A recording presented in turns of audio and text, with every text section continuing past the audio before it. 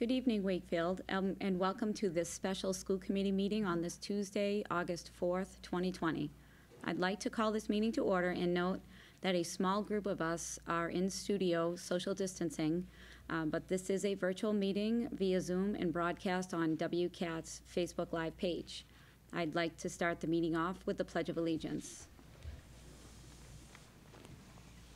I pledge allegiance to the flag of the United States of America and to the republic for which it stands, one nation, under God, indivisible, with liberty and justice for all. Thank you. Next, I'd like to read the mission statement. The vision of the Wakefield Public Schools is to graduate students who are confident lifelong learners who are respectful and caring members of their community. Our mission is to prepare students for college, career, and community by providing rich and challenging curriculum, high-quality instruction, and educational experiences that meet their individual needs and interests. Um, the purpose of this meeting is for Superintendent Lyons to provide information for Wakefield's reopening plans. Per the agenda, the presentation will include a review of the preliminary reopening plans to, uh, the district has submitted to DESE, um, a review of the summary sent to parents and teachers, and a review of the reopening teamwork at each level. And lastly, the district's recommended preliminary reopening calendar and model. With permission from this body, I would like to suggest that we hold our questions and comments until Superintendent Lyons is, uh, completes each presentation, and you will see that in the slides as well. Um, And with that, I'd just like to hand it off to Superintendent Lyons. Good evening. It's nice to be in studio. Uh, it makes us feel like we're, we're getting closer to getting back to school. So it, it feels pretty good. And we're here socially distanced or from one another, um, obviously taking precautions as well. So, so thank you very much for joining us. So we have a slideshow this evening um, that will be posted on our website after um, our show this evening. Um, we are also will post uh, the report the preliminary report that we sent out earlier today, which describes our schedules at each level and describes the work of the reopening team. And so, um, I'd like to start off just by talking about, you know, context setting. And so it, it's really critical for us not to lose sight of the fact that Massachusetts is still in a state of emergency and has really done an exceptional job taking safety precautions, wearing masks, participating in hand washing and hand hygiene, um, and being as socially distant as people can be from one another. Um, it really um, shows in terms of our community transmission data, um, and it, it really shows here in Wakefield. And so our, our latest data in our last few weeks, we are below 1%, right? A 1% kind of transmission rate, which is really exceptional um, overall in the state. But in, in regard to setting the context, I, I just want to be clear that, you know, safety is our first priority. And, and reopening schools in a way where we're taking safety precautions and adults will be provided pr- protective gear um, and students will be wearing masks as well. And there'll be more detailed information on that as we move through our plans. But people being well um, and, and as we prepare to return, you know, we have the important role and everyone has a hand um, and a role to play in making sure that we keep not only ourselves safe, but keep each other safe, right? And so we'll talk a, a little bit about that. You know, other factors to consider in regard to the information that we're presenting this evening. So one of the things that we've learned in being in a remote model this past spring is that, you know, we, we did a good job this past spring, um, but there were some shortfalls that we had uh, with a lot of students. You know, some students at different levels had a great deal of difficulty participating in, in remote learning, and we've learned quite a bit from doing that this past spring. Um, and, and which leads us to this to the point that there's really no substitute for in-person instruction, right? It's not only the learning that takes place and the instruction that takes place, um, but there's also the social benefit of students being with one another, learning with one another, and being in relationships with one another. Um, and and students have been apart, and the social isolation um, that has been caused from this pandemic has been significant. It's been significant not only for our students, and it has affected them significantly, but it has also affected our, our teachers, our faculty, and our staff as well.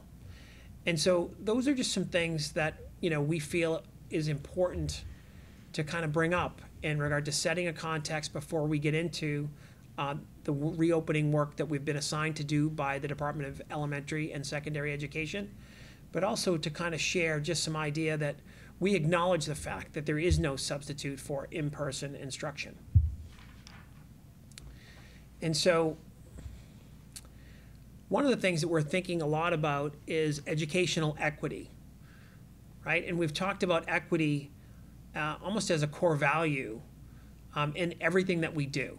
You know, the, the equity has come up in this past spring um, when we've discussed issues about racism um, and how people are perceived and how people are treating one another.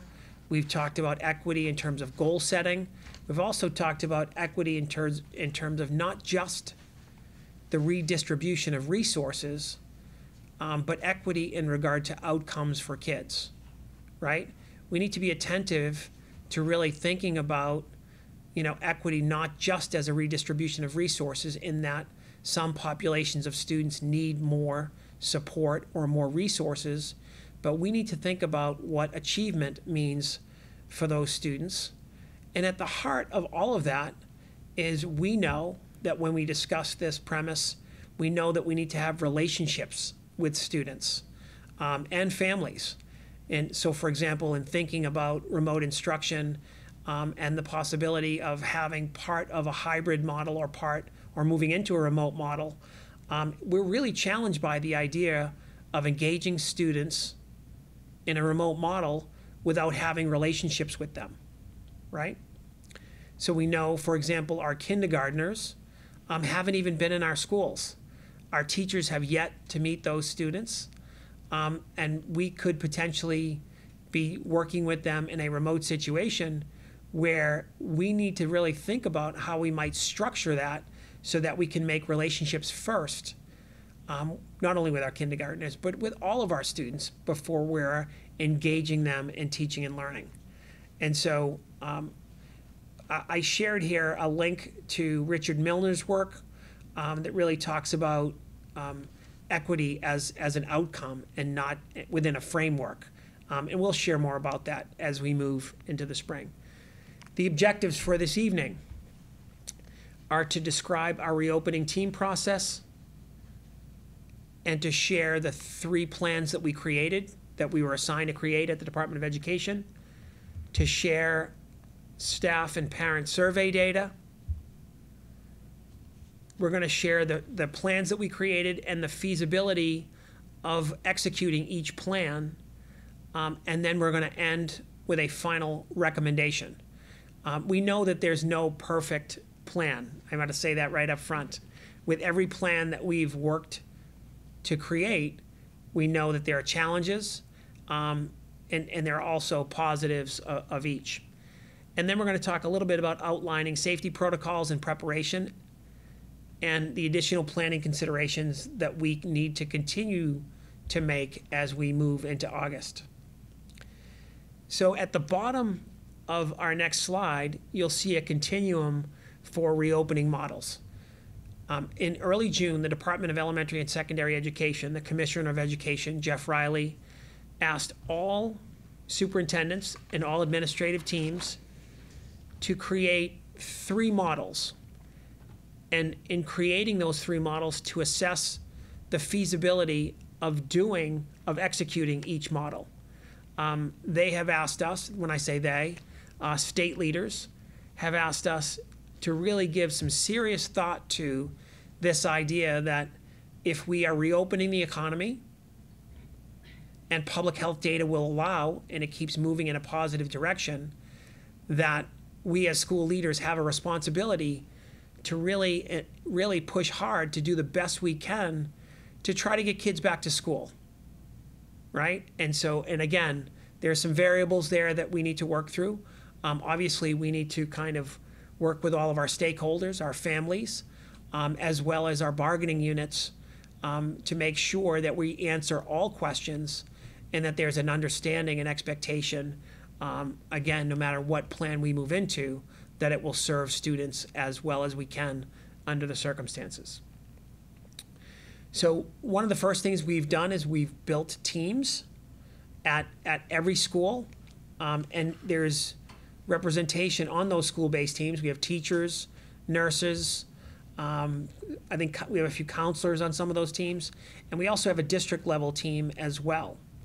And so we've been convening weekly with the Wakefield Education Association uh, leaders meeting uh, to talk to them about reopening. Um, a number of those leaders are on reopening teams at the high school and at the district level.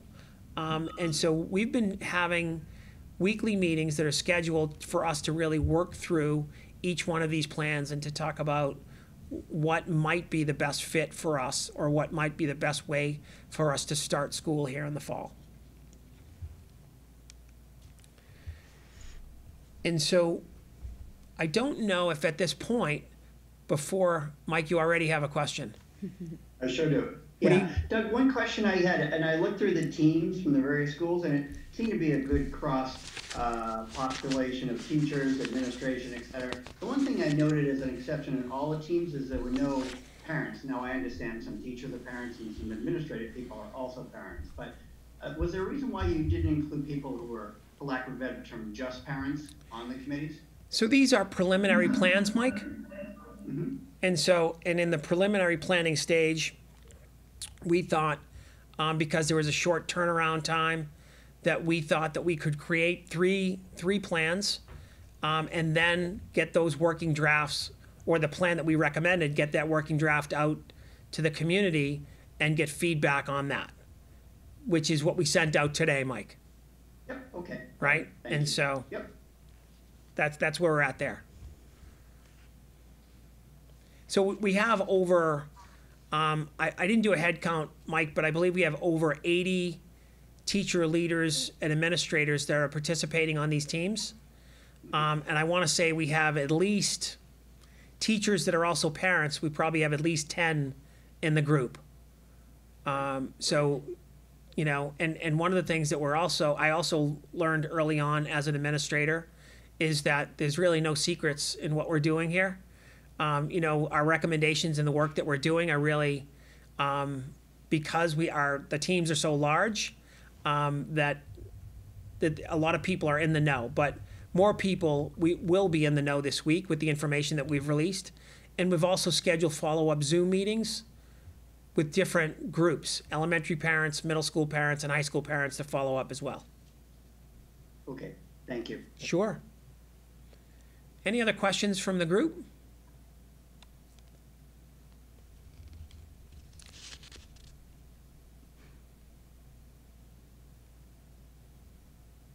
No? Amy, you have a question? Yeah. Okay. All right, so I can jump right in. Um, The next piece of our presentation is to summarize the surveys that we had issued out early on in the process. One of the first things that we did was to send surveys to both parents and staff. And um, we included in our staff survey um, all components of the district, teachers, um, and, and all faculty and staff who work within our buildings. Um, so this page just really summarize, who- summarizes who responded at each of the schools and a breakdown of who is who. So we can keep going to the next slide.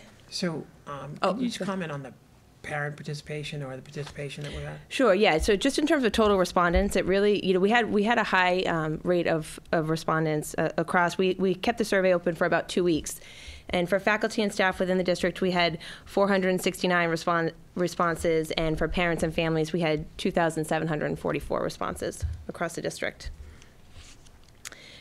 The next slide just touches on some of the successes that were highlighted through the survey data. And the way we're looking at this is it's really helping us to, to improve our, our remote learning process because I think a lot of the feedback came from the spring when we were in a remote, remote model. So I think the su- successes were really what people put forward in terms of what worked. And, you know, I won't go through all the, the bullets, but I think the gist of it is that I think there was um, success in having um, some of our teachers have a comfort level with remote learning, having had the Learn Anywhere uh, program in play. Um, the communication piece was huge. Um, I think parents and staff felt better when they were interacting live with students and um, being able to, to, to teach students over Zoom or Google Meet and um, give that kind of feedback and have that, um, that time directly with them. And um, we also talked, you know, when it was possible. Um, and again, I think consistency is going to need to drive all of this. These were some of the, the successes that were in pockets throughout the district, but I think our goal moving forward is to have um, these be more consistent. But um, just around posting assignments with enough notice, um, helping families to organize their schedules, um, and consistency across that. Um, and also, I think there was appreciation for the fact that you know, as a district, we, we tried really hard to be supportive of our families in the in the different places they might have been at um, during this crisis in the spring, and just really trying to keep um, an eye on the social emotional needs of our families as well.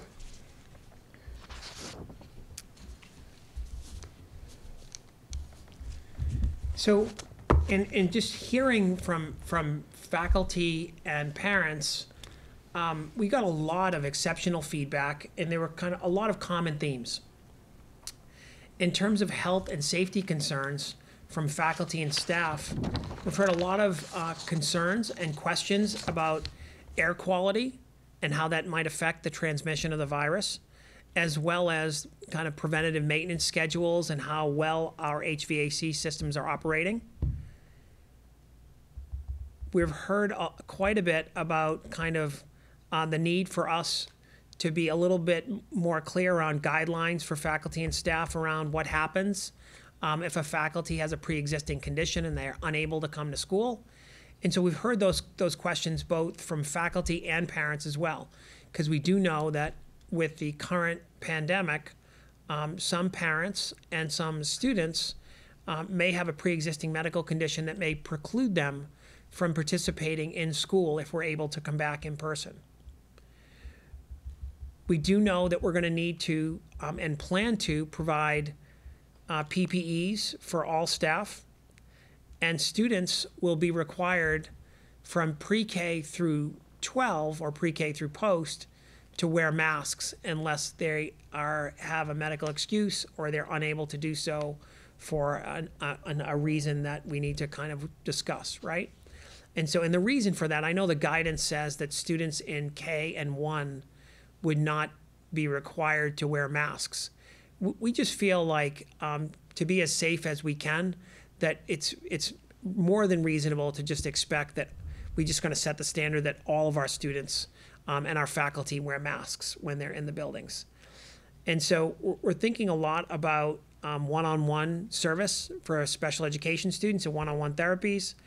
We're thinking about um, traveling staff and students. Um, and so those are those are things that have come up in regard to common themes and questions that have been on the side of both faculty and parents. Parents have shared a lot of concern, and Kara touched on this about just continuity of service. Several of our parents have reached out to us, and they've provided feedback both within the survey format and outside of the survey format to say, you know, we have two children. We have a third grader and you know a, a second grader, and our third grade son is their teacher has created a schedule that's predictable, routines that are easy to follow, and our second grader, the schedule is is less structured. And moving forward, we, we know that if we're going to improve our remote model, either as a standalone or as a part of a hybrid model, we know that we need to significantly improve our remote learning model, right? We know we need to create uh, more predictable schedules and routines for kids. We know that we need to create more opportunities for students to interact with more than one teacher. Um, and we also know that we need to be able to have conversations that we provide feedback to students that lead to us giving grades. And so I, I know that this is being discussed across the state in terms of how, we, how do you do that if you're in a remote model. Some districts are creating at the secondary level, they're creating assessment calendars where if you're in a class, you might have two assessments a quarter it's on the schedule, um, and, and kind of students can look for it. And so one of the things that we need to be very clear about is that the remote part of our instruction, we need to be able to grade and kind of really Im- improve the quality of that as we're moving forward. And student engagement is part of that as well a, a big part of this, and, and people have asked a lot about synchronous and asynchronous learning. And so, synchronous learning is a pre existing schedule where you can go online and you can learn with a group of students all at the same time. Asynchronous would mean that you can, if something is recorded or you can stream it when you are available, um, it, and you can kind of use that that's convenient to your schedule. Um, for some students, um, both models can work. For other students, one works better than the other. So we're investigating ways to support uh, faculty to really um, to get them the tools and the hardware as well as the software to really investigate e- both of those models. So there'll be more to follow on that. Um, so there's going to be some training to start the school year. I'll talk a little bit about that, and and so we're also thinking about varying approaches to if we're going to be serving students in a hybrid for part of the week um, for in-person instruction or for remote instruction we need to think about the sizes of the groups that we're working with Or- I think you had touched on Yeah. this, yeah. and so um, so when we think about kind of the spring remote that we just had right we had 61 days of remote learning um, and you know we, we we provided what we thought we could, right? And so um, we didn't grade; things were pass fail, and so and again, there needed to be more continuity, and we can see that in the in the pie charts that are presented. And so, um, and I talked a little bit about areas of improvement on the right side that we're thinking about for the fall. So we, we have built in breaks um, for the for the committee to ask questions. So I don't know if you have questions at this point.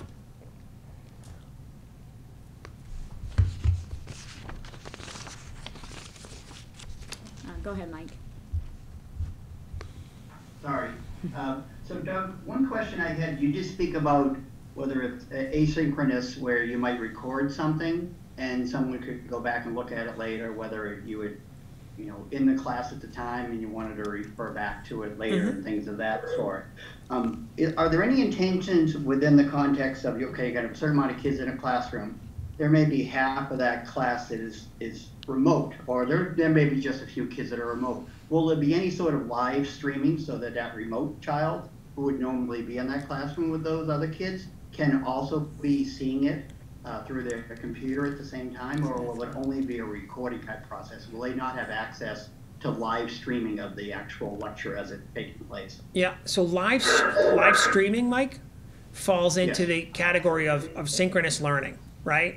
And so if, for example, you know, algebra one is being taught first period at the high school, um, students, you know, this is you, you see we see this now frequently at colleges, right? And so um, we have some faculty um, that have the expertise and experience to do this um, and have kind of the hardware and technology to do it. This is something that we have to kind of grow into and, and to kind of create or to create the expectation that we're, we will all be in that space. Um, I, don't, I don't think that we're quite there yet in terms of our professional development and also the development of the technology, technological infrastructure. So, um, but I think it's something that you're going to see more and more of, Mike. But I think Yeah, I might think it's a great tool. Sorry, go ahead. No, I was just going to jump in just in terms of, it, it sounds also like you're referencing the concept of families choosing full remote learning if the district proceeds with a hybrid. And so that's something, you know, that we, we did dig into a little in our, um, our reopening plan as something that will, um, require some more planning and preparation for, um, if we, if we proceed with a hybrid model. Um, it will be a situation where we're going to have to first get a sense of who is who, um, who, who are the families that are choosing full remote learning, even if we go forward with a hybrid. Um, we have had some families also speak out about wanting to homeschool, which would give families a little bit more flex, um, you know, to, to create their own schedules for learning for their students. So that's something, I think, once we um, make a final decision about which direction we're going forward with as a district, we'll be looking to figure out who those families are and then um, cohort them accordingly and staff accordingly so that um, they have access to as much live remote instruction as possible. Um, the, the live streaming into classes that are already going on, um, I think that that could be challenging in a couple of different ways, but it's something we, we still need to explore further. Yeah, I would agree. At least they should have access to the recordings. Obviously, ideally Sure. live streamed, so they're getting at the same time, but at least recordings. Otherwise, I just worry that even if we go with a hybrid model, the remote kids are gonna think they're second-class citizens in some way as far as Absolutely. learning experience for them. So wherever Yeah. we can bridge that gap would be better. And one of the things that we've been talking about on our um, calls with the Commissioner of Education too is the D- Department of Se- Elementary and Secondary Education, um, DESE, is, is researching right now learning management systems that districts can opt into at an affordable cost, which would um, have, um, you know, would be standards-based curriculum built built into it. Um, so that's something that they're looking to make available to districts as well. So just in terms of something to work off of for those families. Thanks, Kara. Yeah. Mike, you also bring up a great point, which is um, it would be great if a student was able to do X, right? So it's interesting in the, in the communication that we get and in our survey data that we look at, and when we talk to parents and interact with them, you know, some say, you know, I if my child had a synchronous model and a and a structured schedule, they could have thrived this past spring. It would have been great for them.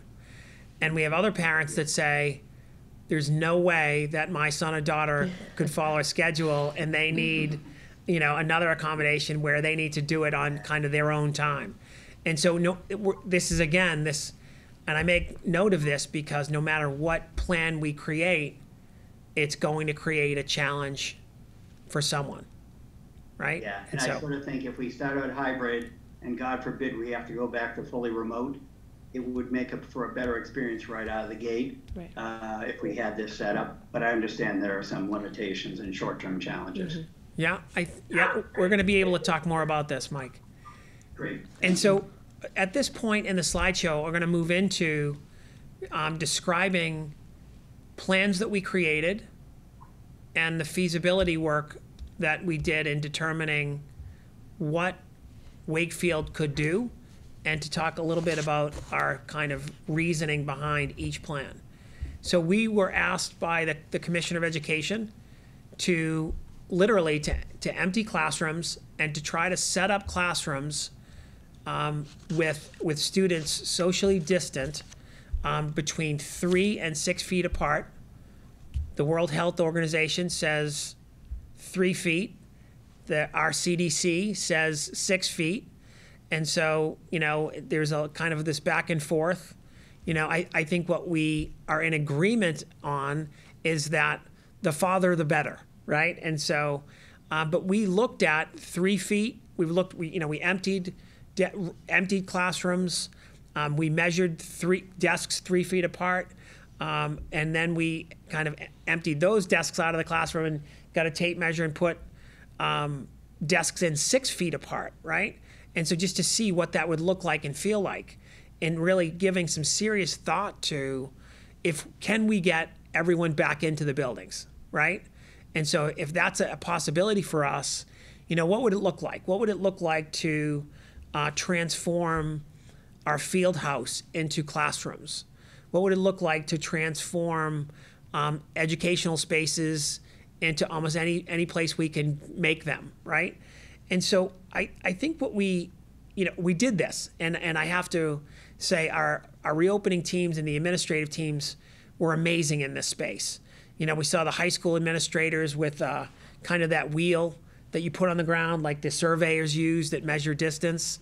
Um, and we saw others, you know, we saw Joe Mullaney with a tape measure around the high school. Some were more sophisticated and they used kind of the um, a tool that was issued by um, the Massachusetts School Building Authority. And so, but at, at the end of all of this, when we walked schools and looked at classrooms, and we saw, for example, kindergarten classrooms and first grade classrooms um, where that were empty, you know, and students, we, you know, there were desks um, or tables where students were six feet apart. Um, we we realized very quickly that, you know, the idea or the goal of getting people in, the question was really at what cost? So what was clear is that it would have severely impacted the instructional model. In addition to, um, we just, where we ended up is that we just didn't think that we could do it safely. So, um, so one of our recommendations in looking at the creation of and feasibility of having everyone return for a full in-person model, we've, we've determined as, as groups um, and as teams and as a district leadership group that that's not feasible to do safely. And so the, the other, the next kind of level for us was really trying to be attentive to the idea that um, students need students need to get back to school, right? There are some students, um, we've heard from parents that have been in touch with us that very caringly um, have asked us, you know, my son is in a special education program and they need to be in school to receive service. We've heard from other parents and we've heard from administrative teams um, of conversations that they too have had um, with parents and, and students that have really shared kind of this this concept that there's there's such a loss um, socially um, as well as the academic components um, that you know we really thought that the next possibility for us was a hybrid model right? And so i, I want to be clear to anyone watching tonight as well as to the committee what hybrid instructional model looks like or what that means and so if full instruction is kind of life as we used to know it, right? Schedules were over here. We're, we're teaching full time schedules in person. The day's predictable. You know, the schedules are what we had March 12th when we left school. Um, and then because of the pandemic and because we needed to quarantine, we went full remote. So if one end of the spectrum is full remote and the other end of the spectrum is full in person, hybrid is something in the middle where students would come to school for some portion of the week.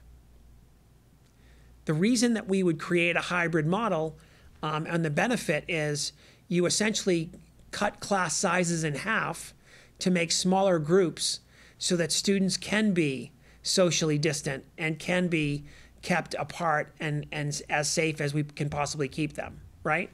And so, and within the hybrid kind of plan, the hybrid instructional model, 90% of the districts in the state are proposing some type of hybrid instructional model. And really, there are three types that are being presented across the state. One type is in splitting students in half and creating a cohort A and a cohort B.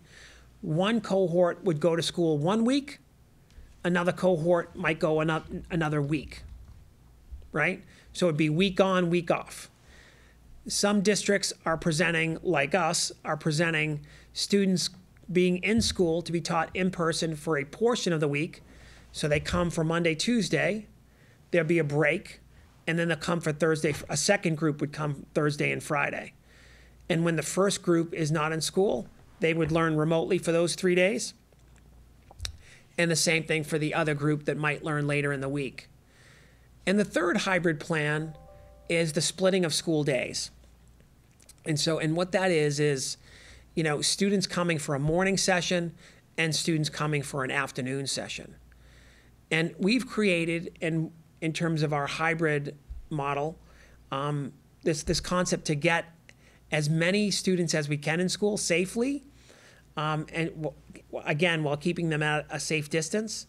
So we really feel strongly that the best way for us to go at the elementary level is to have students come in for a morning session and then to have another group of students to come in for an afternoon session. And so um, I don't know if, if it's a good time. I mean, We could probably get into that with the schedules. yeah. Yeah. And so when we talk about schedules, Yeah. we'll hear from the principals um, who are joining us on this call. And so one of the exceptional points or positives of the elementary hybrid schedule is that it takes the pressure off of families to do remote instruction because kids would be with a teacher Monday through Thursday. And Friday would be off where teachers could plan, we could clean the buildings, and then we would have students back in on Monday. And so the plan is for there'd be a cohort A in, in the morning, there would be a break during the day, and we would have cleaning teams go around and clean and sanitize. And then we would have another group in in the afternoon. So that's what we would be presenting at the elementary level. At the middle school and high school level, we would be creating a, a two-one-two plan, meaning students in for two days, um, and then learning remote for three days. You know, while our, our models at each level have common themes, um, they're really differentiated based on student needs, uh, staff structure, and our ability to team, and really make use of, of all of our faculty. You know, and one of the drivers here, in terms of this idea of hybrid or getting back to an in-person, you know, we really again feel strongly if, if the if the economy is reopening, um, that we really need to try try to get back and again be prepared if the public health data requires us to make a turn in the other direction, we'll be able to do that. So we're also um, talking about a phased reopening.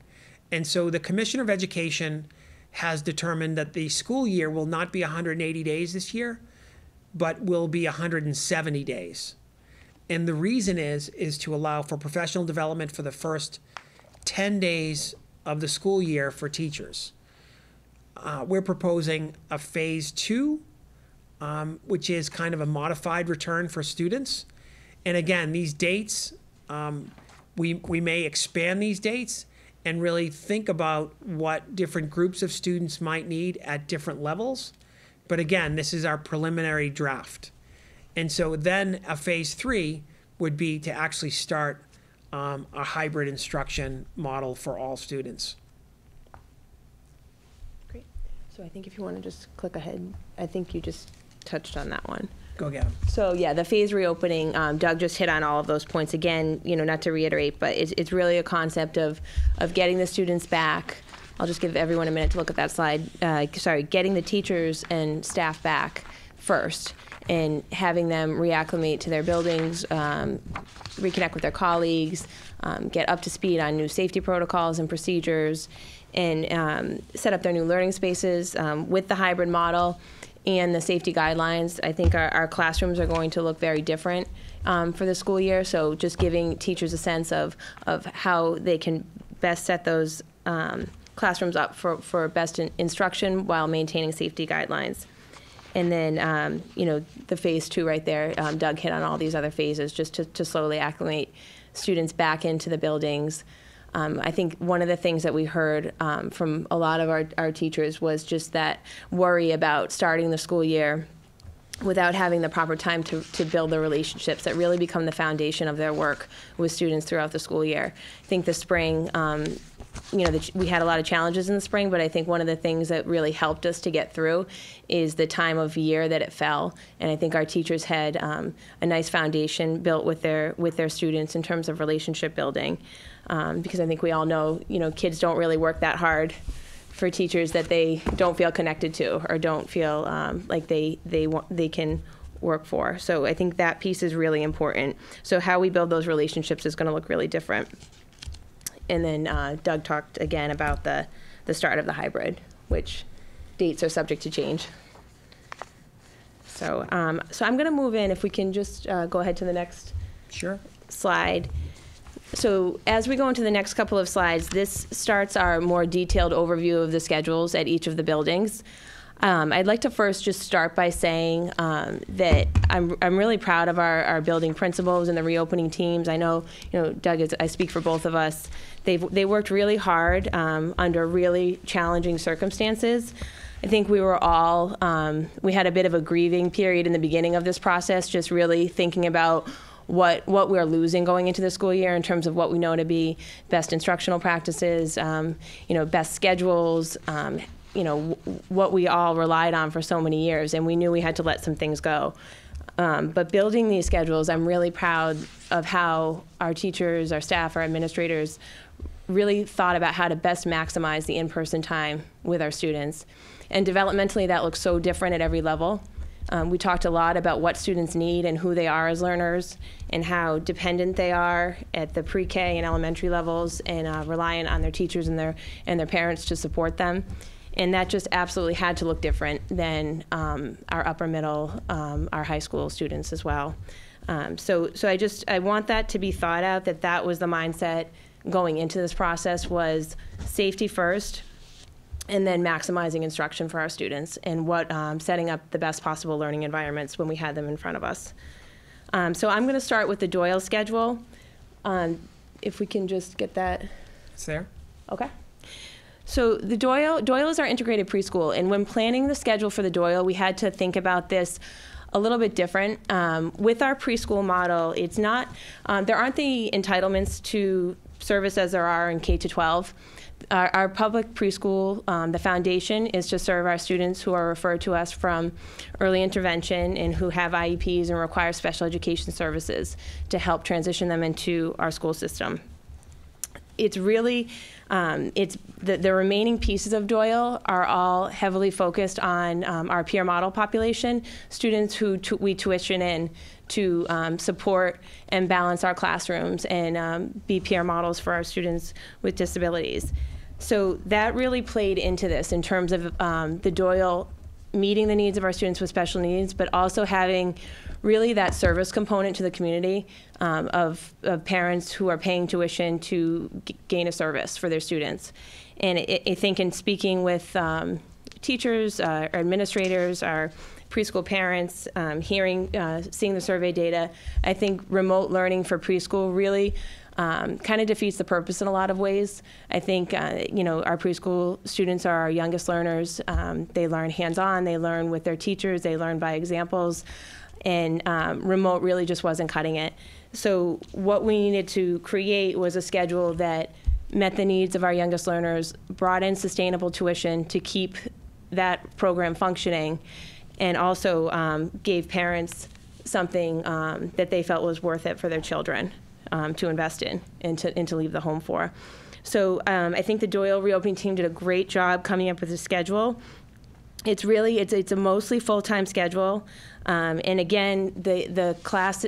Uh, the class numbers are ranging from 9 to 12, and they're based on the families. Um, the numbers are based, we're, we're, anticipating that we can fill them based on families who already indicated that they were um, all in for a full day program and um, paying full day tuition. And so we, we run Monday through Thursday, full days. Um, it's it will be grab and go or bring your own lunch, and then Friday is an earlier release at 11:15, um, which allows time for um, you know extra teacher prep and planning and cleaning. Um, so I think you know I think we'll have high interest in this program. We've also been monitoring you know the private p- preschools within the community as well, um, just to see what they're able to serve. So our goal was really to meet the needs of our students in special education and those that we anticipate being referred to us through early intervention throughout the school year, but also um, providing the service to our families for as many kids as we could. So I can um, pass that over. We have Matt Carter and Tiffany back here from the elementary level to speak to the elementary schedule. All right, thanks, Kara. Um, so for the elementary level, we started by thinking about what would make the most sense for kids. Uh, Doug spoke a little earlier about some of the different models that were looked at in different districts for hybrid.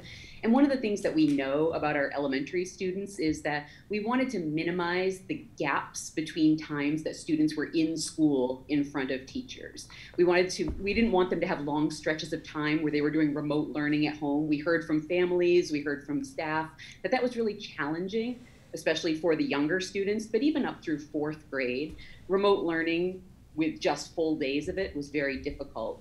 So the model that we put together is with the cohort A and cohort B that splits the school day. And with this model, it allows all students to have time in front of their teacher in school each day of the week, Monday through Thursday, with Friday morning being remote in the morning and then afternoon time for um, cleaning and prep and planning for the teachers.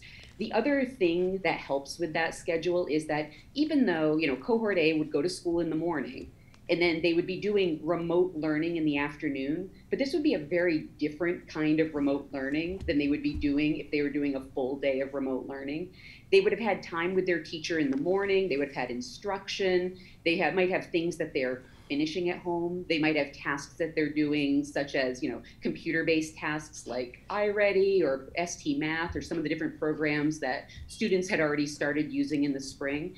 It would help um, with that dependence factor that our elementary school students have. They wouldn't be having to watch a teacher teaching online and then initiate a task by themselves based on what they're seeing online. They would actually be able to hear from their teacher, go home, work on it, and then come back the next day to get feedback again from their teacher. And we think that's really important for the students at the elementary level. Yeah, and I can't echo enough. Like for us, the priority really needs to be how do we get students in front of our teachers um, as much as possible. I think we heard loud and clear from families and from our staff as well that you know in the spring there were some challenges, especially in the lower elementary grades with the remote um, learning. And our guiding piece here, along with safety, was how do we put students in front of our, our staff and, and really start kind of laying the foundational groundwork um, for them to be successful um, as they progress through school. Um, I will say that we are hearing very similar concerns um, from staff. Um, I do want to thank my reentry team. I think they've um, been super helpful in kind of guiding my thought process and the work that I brought back to the team. Um, but also, even this afternoon, hearing some feedback from parents too. Um, I will say that we don't think any hybrid model is, is perfect, um, but we are trying to, you know, kind of use the lens of how do we put students kind of first and how do we kind of prioritize their learning with any, within any sort of hybrid model. And uh, if, if I can just add, jump in, Matt and Tiffany, I know one of the things that uh, the elementary group, um, you know, just to add some context, the element, the four elementary schools worked really closely. Um, the principals uh, worked really closely and um, had consistency across messaging with reopening groups. But I think one of the things that was picked up um, in our reopening doc was that that difference in, and I and I would I would say that you know we, we didn't catch that um, slight fixing that slight change in the reopening doc, but we started out trying to have cohorts of three hours each for kids. Um, we felt like the three hours uh, in the morning, like an 8:15 to 11:15, um, and then an, an, afternoon cohort for three hours would be ideal instructionally. But the topic of um, adequate time for cleaning has come up um, a couple of times, and just wanting to ensure that um, you know, that we, we can uh, follow through on that piece. And I know Bob Schiroli is going to speak to time studies that he's doing with his custodial staff. Um, but one of the the last minute changes in the schedule that was put out was uh, reducing that uh, the cohort times to two and a half hours from three to add an extra hour and a half to add an hour and a half for cleaning in the middle. Um, so I think you know again we put out times as a um, as a concept, but as we refine and we get feedback and we learn more, um, they're subject to change. Um, I think a three-hour block. I think all of you do too. Think that a three-hour block would be ideal, but putting safety first, we have to make sure that we have adequate time for cleaning. So I just wanted to hit on that point. Anything else? Okay. All right, so now, um, thank you, Tiffany and Matt. We can move over. Um, we have Adam Colantoni here from Galvin, who can speak to the grade five and six hybrid schedule, as well as the grade seven and eight hybrid schedule. Thank you, Kara. Uh, I just want to thank the Galvin Reentry team for all their hard work on this task, and I certainly want to thank our family for your patience as we work on this process. Um, you know, tonight we know it's a lot of information to digest in all these plans, and every model that we thought through, we knew would present challenges for our families, and we're committed to continue to work on that. Uh, at the middle school level, our team looked at a wide range of models, including uh, what an early release could look like. Uh, I'm working with the middle school principal group that meets weekly, and we're comparing notes across districts to try to see how similar we can be. The schedule we're presenting tonight, 5 to 8, uh, really focuses on the safest conditions possible as we are at the elementary and high school. And at the middle school level, we're really focused on how to keep students engaged uh, throughout the week, whether they're at home or in school. Uh, that, that was a lot of feedback we received in the spring. I was at the asynchronous learning at the middle school level um, proved to be difficult for students to manage their own time, their own learning. So we're really looking forward to a schedule that can give students some clear, consistent structures, both in school and at home. Um, and so that's one of the reasons why we split the week up uh, and thinking of a cohort model uh, for the hybrid. Uh, what you read tonight is fifth and sixth grade in school on Monday, Tuesday, um, and then at home on Thursday, Friday, and vice versa for seventh and eighth grade. Um, so we're really looking for as much face time as possible between students and teachers, whether that's in school or remotely. One of the advantages in this plan uh, at this time that we feel is that um, by cohorting the way we are, our students, when they're remote, um, their teachers won't have a cohort in school to have to balance the needs of. Um, they'll be able to meet with students while they're at home, um, you know, through remote learning, and then meet with that same group of students while they're in school. So we feel like it will provide a lot of continuity for our students throughout the week, um, and really focus on synchronous learning, whether they're in the building or at home. So that's what really led to the way we split uh, the week, rather than doing a five to eight cohort Monday, Tuesday, and a five to eight cohort on Thursday, Friday. We, we're looking at the week as grade levels um, a little bit differently. Uh, and there's obviously a lot of fine details in our plan that I'm, I'm happy to answer um, from our group here tonight. Uh, and certainly, we're going to be meeting with our Galvin community later in the week. Um, so I'm not, I'm not sure how uh, deep you want to get into details tonight with this group and what questions you might have, but that's really an overview of our schedule. Is that we're focused on synchronous learning Monday through Friday, whether it's home or at school. Okay. All right, and I think we're saving all questions at, to, until the end. Okay, thank you, Adam. And then, um, you know, we can move over to Amy McLeod is here from the high school, our high school principal, to speak about the high school schedule. Thanks, Kara. Um, so uh, thank you for having us here tonight to talk about this uh, and about our schedules. I want to just also thank the folks in the high school who helped to work on this plan. Um, we had administrators, teachers, counselors, uh, directors, and um, you know what you're what you're seeing in front of you is really an iteration of um, and there have been many iterations of, of, of these plans, right? Um, and we are, as all the other teams have done, working um, using uh, survey data, um, state guidance and feedback, um, weekly meetings with principals from across the Middlesex League uh, and across the state. Um, and, and really trying to take that um, changing guidance from the State Department of Education and work it into the plan continuously. So, like the other schools, I think our um, plan focuses on meeting the needs uh, developmentally of where high school students are. Um, if you look at our schedule, it is a, a basic uh, one, uh, a two-one-two um, hybrid schedule where we have uh, two cohorts, cohort A and B. Um, we are uh, planning to split the cohorts uh, somewhat alphabetically, um, really using alphabet as the basis of it, um, so that we can group families, siblings together um, but then also taking into consideration some of our um, special populations. So potentially keeping our students who come from Boston together uh, in a cohort, or um, thinking about where um, some of our students who need services such as uh, EL services or special education services, um, and how to fit them and balance them into cohorts A and B so that our services can be spread out to meet the needs of students. Um, in that 212, if you're looking at the schedule, uh, essentially we are talking about two days of in person. Um, and um, over those two days of in person instruction, uh, students would go through six blocks of instruction.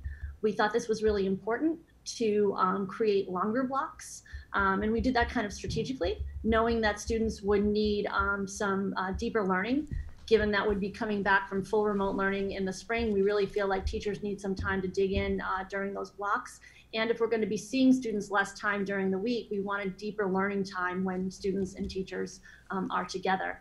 Um, our Wednesday uh, would be a full day of um, synchronous remote learning.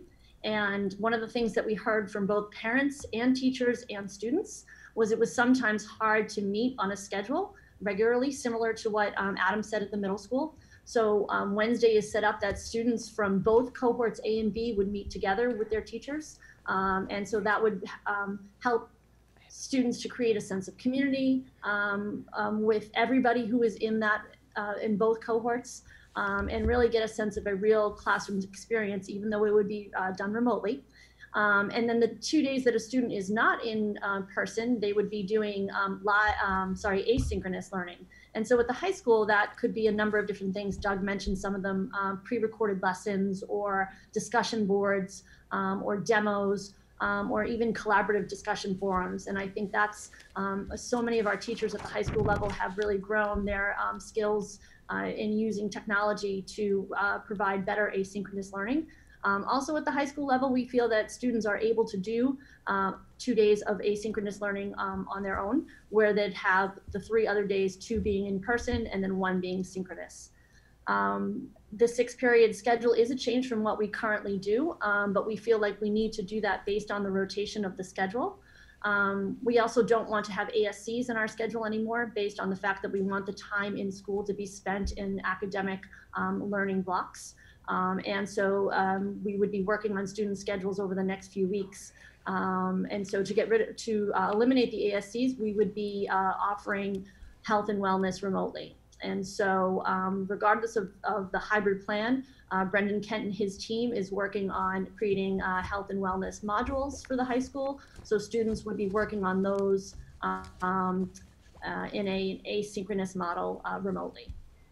Um, I think just to point out a few benefits of, of, of this hybrid schedule, um, I think when we talk about meeting the needs of students and teachers uh, in an in-person model, I think the hybrid kind of hits the sweet spot. Um, we're able to again uh, get more face time um, with students so that students can make connections, um, have those baseline lessons as a small cohort, uh, then have the synchronous Wednesdays together. Um, you'll notice the early dismissal um, in our schedule, um, and I think that that had to be done for a number of reasons. We weren't able to figure out how to provide lunches safely uh, in a building of our size and structure at the high school.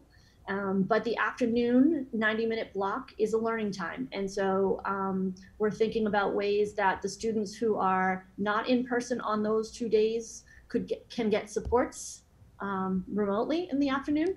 There may be students who stay through who are in person to get academic supports, to get guidance supports, um, essentially maybe to get some of the services that we need to provide that can't fit into the six block day. Um, you know, and then um, the idea of having older students who are able to be home a little bit earlier than the younger children. I know that can help with uh, families. I know in my family that's a important thing for my older to help with the youngers. Um, and so we think in this cu- current context, having students there and available, um, it also helps with the bus schedule for the district in terms of meshing our schedule with the other two um, levels or three levels in the district. Um, finally, I think the one thing that we heard that was loud and clear to us, um, not only um, Adam talked about the uh, discussion about synchronous and asynchronous learning and what we heard about that, uh, we also heard the high school students needing enough time to be able to do the work assigned. Um, when you get to the high school level, we're talking about a gradual release. Students need time to work um, on their uh, on their uh, assignments and activities uh, independently, and I think it's important that we build that into our schedule so that students aren't feeling like they go home at two o'clock and then now they're on their screens from two o'clock till till eight o'clock or whatever, trying to catch up with the work because it's a hybrid model. Um, the idea of having those two asynchronous days uh, at home um, allows them to work on extended assignments, um, do a little bit more of independent work, but then still have the opportunity, as uh, the other principals have said, to check in with their teachers and have that ability to connect. Um, so that's sort of the highlight of the high school um, and where we are with our plan um, thus far. Great. Thank you so much, Amy. So I think at this point, we can open it up to questions? Questions? So if we, do you want me to structure it for the group and we can go through? And, um, going back to Doyle, um, any questions related to the Doyle? We can maybe go through Mike by level? Sure, Mike. Mike, was it, did you have a question, Mike? Nothing on Doyle. Okay, so no one has any questions on Doyle? Can I just um, Okay. clarify Yeah. the Doyle, the Absolutely. class sizes are going to be between nine and 12? So we, we, um, the reopening team had done measurements around all the spaces in Doyle, and based on the, the number of kids in a class is really based on um, the size of that classroom. So they ranged from, uh, we'll have nine classrooms, and they range from nine to 12, most being 11 was the average class size. Okay. That's all I had for Doyle. Okay, all right. Ellen, any questions for Uh, the, oh, Chris? Chris?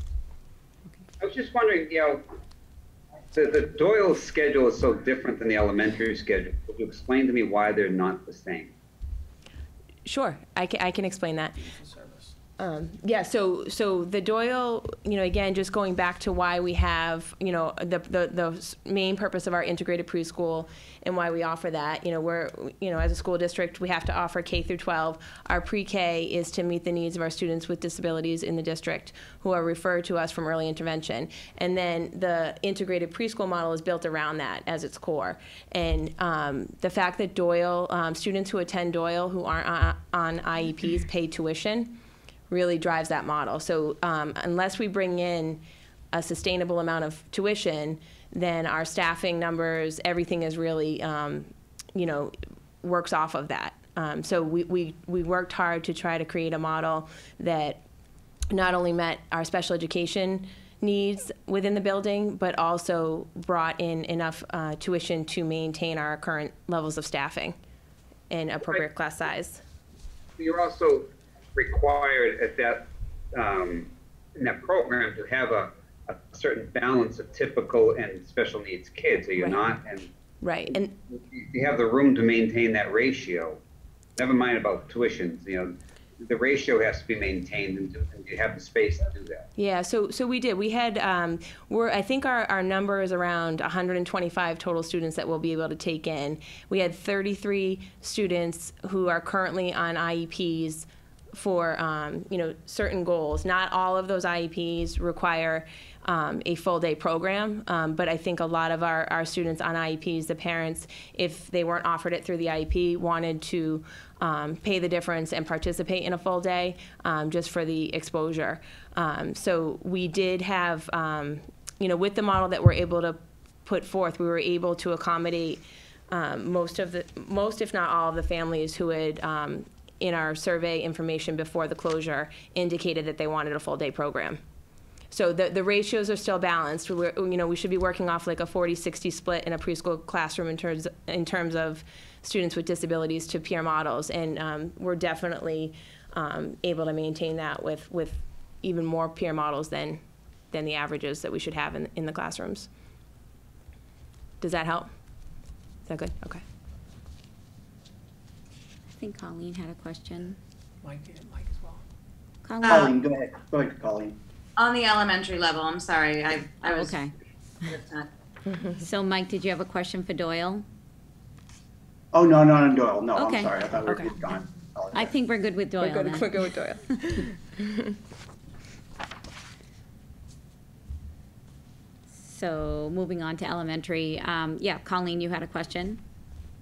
Yeah, so uh, for Matt or Tiffany, um, so in in the model, the AM PM model, just to clarify for our our parents, um, because each teacher is engaged with the alternate cohort of students during um, the in between the classroom, the remote learning will look more like student directed learning. So does that mean it looks more like homework, enrichment, and extension of what they learned in person? Um, I'm thinking particularly when you're in the AM co- cohort and you haven't been in school, maybe you're taking your PM work that you did the day before and applying that to the morning, and you have that time and space, but you don't necessarily have access to your teacher because that teacher is teaching the other cohort. So it's it's sort of a homework time, enrichment time, reading time. Is that how you're looking at it? Th- That's pretty accurate. And, you know, we have had that conversation about, you know, is there a way that, how can we support, find ways to support those children who are at home during the morning or during the afternoon? Are there other ways we can set up some office hours or can we have some other activities? Because the classroom teacher is going to be teaching the other half of the students. But we know full well that students that are at home working, you know, regardless of how well they're set up or how much how familiar they are with the activities there are going to be those times where they have questions or need some support so that's a part of the plan we're still looking at Okay, Great. And we also have the staff that we feel can really support um, students, you know, whether they're at home or in the classroom as well. So we are kind of looking at this as being an opportunity um, to for students to do their homework or to do a little more on the enrichment side. Um, and we can use staff, I think, strategically to make that happen at home as well. Staff meaning more than just their classroom teachers, their aides, you know, Correct.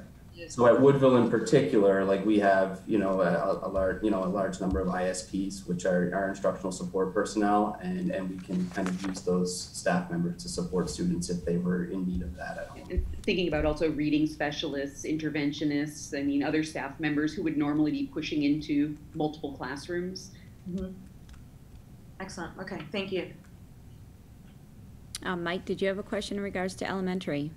I actually, I have a few questions for Okay. Tiffany and Um, I guarantee you, as you go on your parent roadshow this week, the schedule is gonna dominate.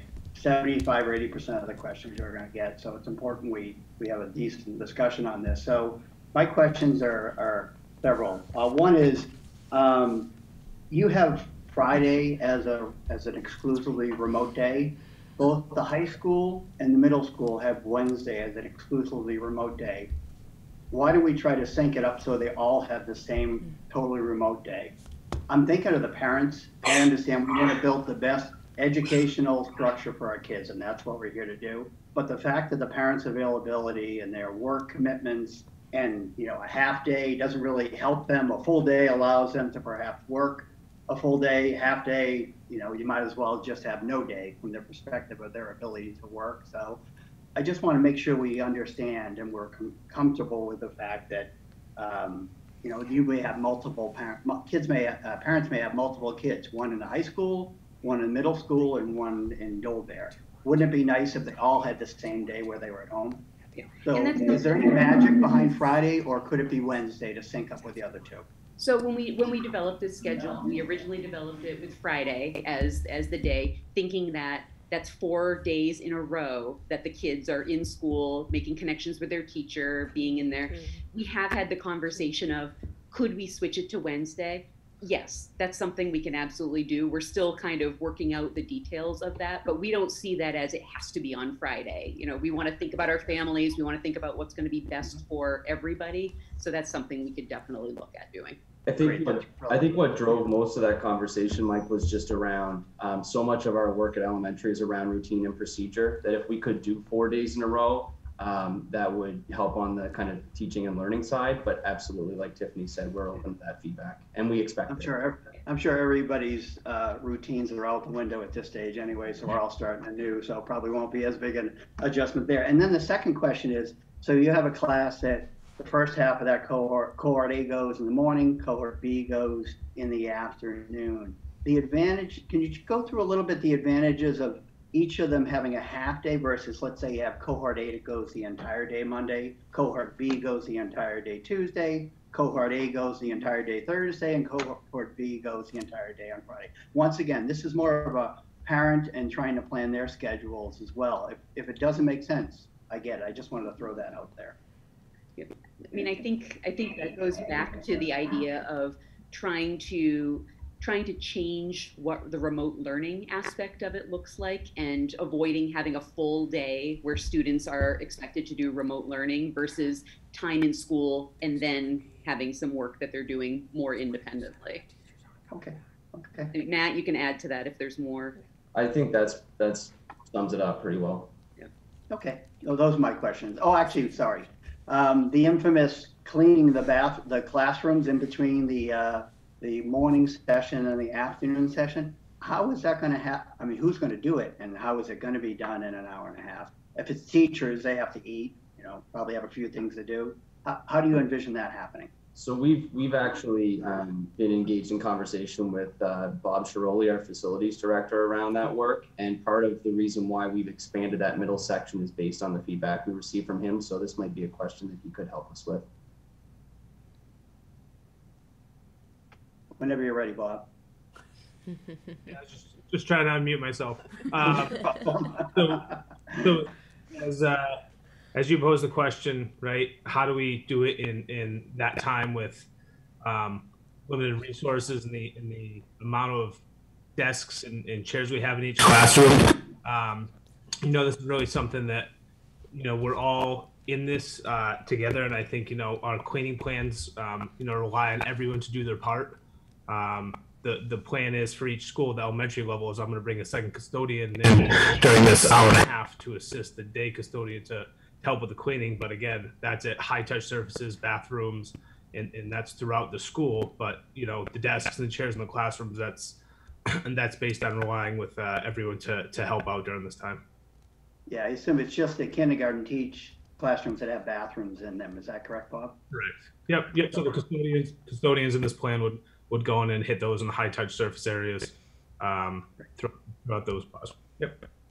Excellent. Thank you very much.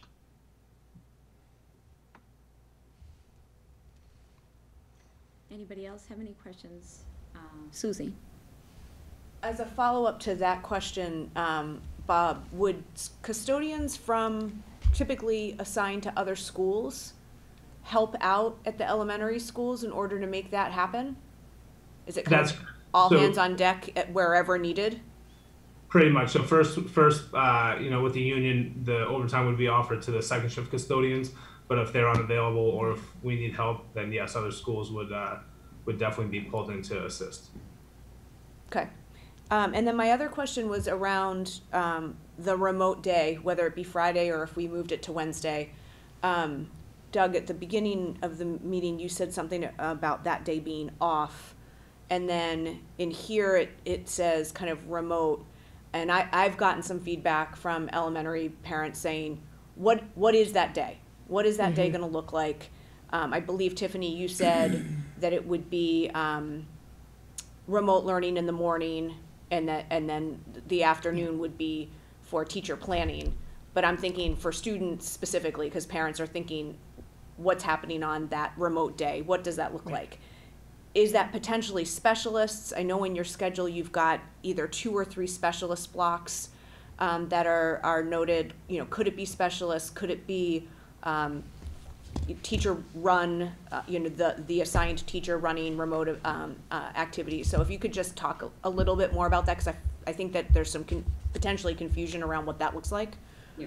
And I think I think all of those things you were just saying could be part of what that Friday looks like. Um, you know, specialist enrichment activities, some synchronous learning, remote learning with the classroom teacher. You know, morning meeting kinds of things. There are a lot of different options for that, and you know, I know Kara has, you know, said and Doug has said, no, no, no, we're, the plans are still evolving. We're still working on it. Mm-hmm. So if we have some other ways that we can make that a more valuable learning experience for our students, that's really the goal. I mean, our goal is to create these important learning experiences for students. So if we can find another way and have some other ideas that people are suggesting to do that, we want to do that. Thank you. One other question, um, and it had to do with um, Wednesdays. Um, so let's assume it's Wednesday for argument's sake. Will the teachers be allowed to conduct their remote classes at their respective schools So versus I- having to do them at home? So I, you know, we, we've gone back and forth on what that remote teaching aspect would look like and where it would take place. Um, I, I'm, I'm a fan of having kind of, you know, teachers in classrooms and using resources, having access to colleagues, um, having access to our technology, but, you know, it, it really kind of within a hybrid model, I think more discussion, um, could happen. And my second question is really, so you can tell I'm touting Wednesday, is you could always use Wednesday as a deep clean day too. So two days on, a deep clean, two days on, another deep clean on Saturday or Sunday. So there are some other potential benefits as well to Wednesday. Okay, I'll stop talking about Wednesday. No, we are we duly noted on Wednesday. So, can I can I also address um, the questions about cleaning that, that Mike brought up? There's a, a lot of anxiety about us having sufficient staff and being able to clean schools in between groups of students coming into the building. Um, and and I, I will share with you what we have shared with the WA leaders. If we can't effectively clean, we won't do that model, right? And so, you know, but but we do believe that we can, and and Bob Shiroli, it's good having an MBA as a facilities director. Like he's made this a little bit of a science experiment, and he's committed to figuring this out. We're also hiring um, some new custodians to come in and support this as well, right? And so initially, what we had started with in elementary is we were looking at uh, the two-one-two model, which would be which was similar to our middle school and high school, but uh, but again, in, in just hearing from our reopening teams and really hearing from our principals. Um, you know, I, I think I certainly felt like the model that they are presenting um, really gave students the best opportunity um, to see te- their teachers every day, right? As opposed to there being gaps in time. You know, in a two-one-two model or a, a, two days in, two full days with three days remote, um, you know, that gives that gives students, you know, three days of remote learning. Some of our students, you know, in K one, um, where we just felt like that was the, the kids needed more. C- Correct me if I'm off, Matt or Tiffany. That I just want to reflect our conversations accurately. Yep, they're accurate. So, but but again, I, I just want to be clear in my communication. You know, um, if we can't execute a part of the plan, we're not going to do that plan. But but that doesn't mean that we're still not. That doesn't mean that we're not committed to the hybrid concept. I want to be crystal clear about that, right? Because we really feel strongly that we need to get kids into school in person um, to do our best work. So. Amy, I had one more question about Sure. elementary. Um, I think Tiffany that you said that you are gonna, that you're probably gonna split cohorts across, um, using the alphabet so that families with more than one child in elementary school would definitely be on the same plan as, did I hear that correctly? So I think high school was talking about alphabetical. I mean, obviously, we would want to build our cohorts so that students that are in the same family would be in the same cohort. Um, just another another twist to that is just we need to look at our classrooms and make sure that we're building our balanced classrooms. And you know, doing A through L isn't going to create you know at Greenwood one classroom that has much many more students than the other classroom. So we would just kind of have to see what the effect of that is. I think, I think what we would do, Susie, is we would take that on a case by case. Case by case basis. And look, basis? yeah, Okay, and look at it instead, instead, instead of saying generally alpha. Because I think we would end up exactly in the space that Tiffany described, right? Right. Yeah. yeah, it doesn't necessarily have to be High alpha, I school is guess. different than elementary, Yeah, the- right? But keeping families Can together. families Yeah. assume that you're gonna try to keep them together? Cause Yes. at the Galvin, we Yes. know the model does not allow for that, but at least at elementary and, and high school, I think it seems, is seemingly less problematic. Um, Matt, did you want to say something? Yeah, I think just to, you know, answer part of Susie's question, like, we're gonna do everything we can to work with families to make this work for them, right? If there's a specific request, you know, we're gonna do everything we can to meet requests because we understand kind of the situation and kind of how people's lives have been changed by all of this. Um, and if there's a, a request that we can meet, we're one hundred percent gonna try to meet that. Awesome, thank you. Thank you. Um, I actually just had one question in regards to, um, teacher prep time. Um, you know, so that break, that hour and a half in between the day, how much time do the teachers get for lunch? And then, um, do they get any prep time, um, as well in there? Yeah. So our, our schedule does build in some specialist time during the, the long blocks that are in the morning. Um, so that would be a time that teachers would have available some prep time, as well as that extended block in the middle of the day has room for their lunchtime and some prep time as well. Okay. And then also, I think you may have already answered this question in regards to the afternoon when the children go to school in the morning and they're home remotely in the afternoon. Um, are paras going to be available to possibly kind of assist kids to keep them engaged? Is that what was already answered? Absolutely. So we're going to do everything we can to support our students um, with the adults we have in our building. So it, it's about figuring out what students are in which cohort and what those needs are, and then based on that, then we will kind of assign our adults and our, our staff, you know, appropriately to to make students as successful as possible. And then I also just have one question that may be across the board in terms of attendance. Yeah. Um, you know, what is, um, the accountability in terms of the kids actually, like especially at the high school, when they're in school in the mornings and then when they leave for the afternoon, do they have to sign in and will attendance be taken in the afternoons? And then also how will attendance be taken during the day in the mornings as well? So, one of the things that we're hearing from the Commissioner of Education and from the Department of Education is that uh, student time and student learning time needs to be accounted for, right? And so, um, one of the things that at the secondary level, you know, in terms of students learning remotely, how do we account for that time? I think one of the kind of the, the biggest indicators is the completion of work, right? Completion of assignments and also participation with classmates during uh, remote activities, right?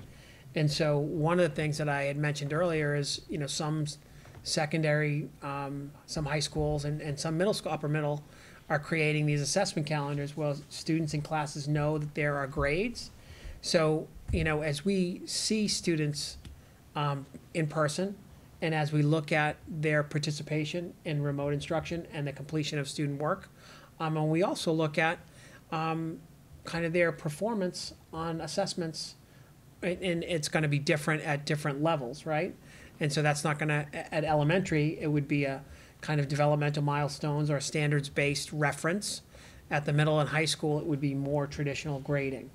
Um, but that, that is going to be, has to be, not going to be, has to be part of um, our model, no, no matter what model we, we propose, right? And so whether it's hybrid or remote, that, that has to be a, a standard part of what we're doing. Okay. Um, I just had one more question for Adam. Um, like at the Galvin, when, um, like if you bring in a fifth grade class, um, how are you going to socially distance all those students in a classroom? What, you know, will you split up, like, because I know there's two teachers to one class. Will half of the class go with one teacher and the other half go with the other? And then you have enough space within the school to do that uh, safely? Dude, that's a great question, Amy. Um, so what we're doing at the middle school level, for those familiar with the team concept, we're just creating bigger teams of adults to spread out students more. Uh, so on a typical team with your core academic teachers, we're going to partner them up with specialist teachers, and they're going to rotate through those classes with the specialists and academic teachers, and that's how we're going to bring down the class sizes per team.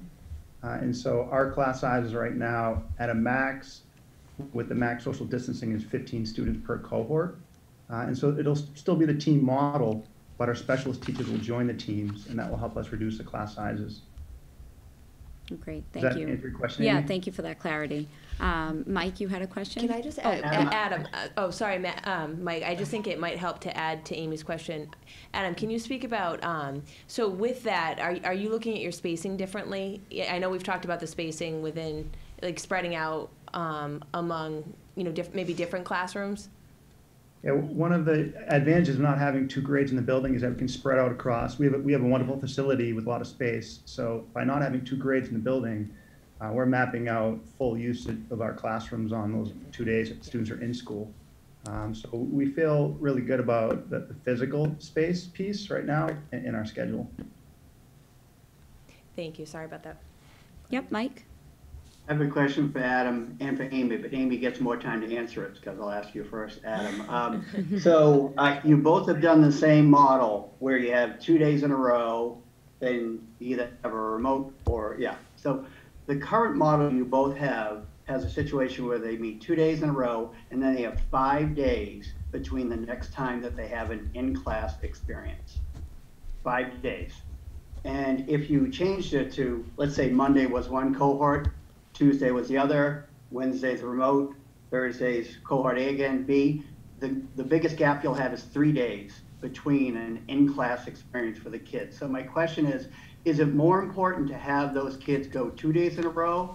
Or is it more important for them to have a short, the shortest possible time between class, in-class experiences? Yeah, I mean, it's a great point that you raised, Mike. I think in looking at that wide range of factors in building the week for us, um, you know, we looked at everything from the different cohorts coming in and out of the building over the course of the week. And so if we kept the same cohort of kids in Monday and Tuesday, I think the reason why the middle school, maybe the high school looked at Wednesday was to allow for a deep clean before another 500 students come into the building on Thursday and Friday.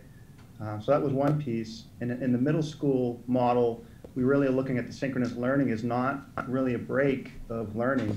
It will be not in person, obviously, at the physical building, but it's really a, a straight learning experience right through. The only difference is either at the desk in person or on their device at home with their teacher. Um, and that's the synchronous piece that um, we're really prioritizing in the model. Amy, thoughts? Um, Yeah, somewhat, somewhat similarly though, the high school schedule looks different. Um, so if you're looking at the high school schedule, um, students only see their teacher uh, because we are not teamed at the high school, and students see six distinct teachers. They only see their teacher once over two days, um, and so it's going to be a different experience for them for the two days. And we wanted to sort of replicate that idea of going through your cycle um, of, of uh, classes A through F um, to make it similar to in-person learning. And I also think developmentally, um, I look at Wednesday as an in-person day. I know that it's going to be remote, but it's going to be synchronous learning. Kids are going to be on there all day. There's a schedule that parents and teachers have asked for. Um, to answer Amy's earlier question, attendance is going to be man- mandatory those days, right? Those are not optional Zoom check-ins. So that is, that is uh, synchronous learning. Um, so I feel like the distance will be less. Um, and yeah, oh, I, I, it, it's a point well taken, right? I, I, but for me, I think it's a trade-off. I think the time between class experience allows the kids to take their learning that they've chunked in that in that sort of experience, and and then um, work independently on the assignments or the activities that are that are extending that learning till they have time to come back. So I, I think it's, I think it's a trade-off, though, right? I mean, I, I, I hear your question. Okay, thank you both. Uh, Susie. Um, Adam, if I can go back to Galvin, um, I'm trying not to be dense, but I'm, I'm having a really difficult time understanding how this is going to work at the Galvin. So you just, um, and Amy, you kind of started to ask the question. So I, so you're going to team specialists with the core teachers, and there's a five period. There's five periods available. So mm-hmm. are we saying that middle school students are going to get all of their specialists? So they're going to get their four core classes and foreign language and tech ed and health and art and music? And that's how it ends up kind of being possible to do it the way that we're doing it. So in those two days over those five periods, I guess maybe if you could help me with mm. What those five periods look like, and I don't have the schedule in front of me anymore because my computer died. Um, but if you could, I, I'm just having a difficult time, and, and I know there's a reason why you're doing fifth and sixth and seventh and eighth. Um, and so I'm, I'm really trying to understand that because I know that that is creating a lot of angst for a lot of parents who have kids, multiple kids at the Galvin that fall into different cohorts. So I, I, feel like we need to spend a little bit of time on this so that people can understand how this is going to work. Sure. Uh, I'll try to deconstruct a lot of what you asked right there. Um, again, kind of the overarching goal for the Galvin, the way we are splitting the week by grade level, was really to provide live teaching, whether it's in person or from home. And that was what led to the grade level distribution, fifth and sixth, seventh and eighth. That's certainly open for um, revisiting whether it's fifth and seventh, fifth and eighth. We can certainly go back and look at that. Um, to ask about kind of the breakdown of the day, so on a typical team at the Galvin, particularly in the upper grades, there's four cohorts, four cohorts on a team right now, going back to March. We're adding two more adults on the team to make it six cohorts, and that's bringing down our numbers, uh, class size numbers. The, the staff that we're adding are specialists. So, for example, uh, an eighth grade team, um, we're going to add an art teacher and a health teacher for conversation. And in the schedule that you're looking at, those those groups of students is six groups of students on a team. It's a five period day, so similar to a high school model, we're going to do a waterfall schedule. So students won't necessarily see all six teachers in one day. It'll rotate over two days, and that's another reason, Mike, why we're keeping students into, together for two days in a row. Is we're creating 60 minute classes. We want to really maximize time on learning with students, with adults. So our typical classes at the Galvin are 45 minutes. We're doing 60 minute classes, five periods. So the students that will have six, six different classes in their schedule, but any given day they'll only have five periods. And we're, we're working on schedules that have a rhyme or reason for how they uh, participate in those classes. And, and there's a lot of variables behind the scenes that we're working out right now. For the specialists, they'll have a certain length of time that they work with students on a particular team before they rotate to the next team. So students will have an opportunity to participate in a full range of specials that we offer. It's just gonna look a little different this year based on state guidelines of what students can do uh, in terms of some of the specials that we offer. Um, so we still wanted specials to be a, a lively part of their school day and have full access to specialists. That's why we are attaching them to teams of teachers, uh, and we're gonna rotate them through. So I don't know, Susie, if that helps clarify things a little bit? That does, that helps a lot. Um, one additional question, so I think, um, there was an assumption that if you're on, you get assigned to your team and you're, you're fifteen kids. I had heard, you know, teachers are going to move into the classrooms, kids aren't going to be moving. Is that really true in the, in this case, if you've got, you've got six teachers on a team? Is it that those fifteen kids will stay together? Or is there some variation to that because some kids are gonna do music and some people do French, not Spanish, and, right? So I'm assuming that there's some level of variation that will happen, but that the core classes, those kids are staying together. And I'm, I'm asking this question just more from a, a limit of, um, exposure, you know, to how many kids are kids gonna be exposed to? Yeah, great question. You know, when we looked at the state guidelines that released from DESE about a month ago, the guidelines really emphasize limiting student movement throughout the building as much as possible, limiting intermingling with other cohorts of students as much as possible. So to start the year, we are looking um, to have students in groups of 15, um, particularly very much in the beginning of the year until everyone learns new routines and safe routines, keeping students somewhat stationary while building in movement breaks, while building in structured opportunities to move around the building. Um, but to, to your question, uh, a lot of that is our starting point to keep students with the same cohort uh, and to have teachers meet them in their space rather than releasing 600 students into the building when the period ends. Um, we didn't feel like that's a safe way to start the school year, given the size of Galvin Middle School. Um, we wanted to really um, recreate a sense of community with students in the building, uh, retrain students on what safe behavior looks like at the middle school.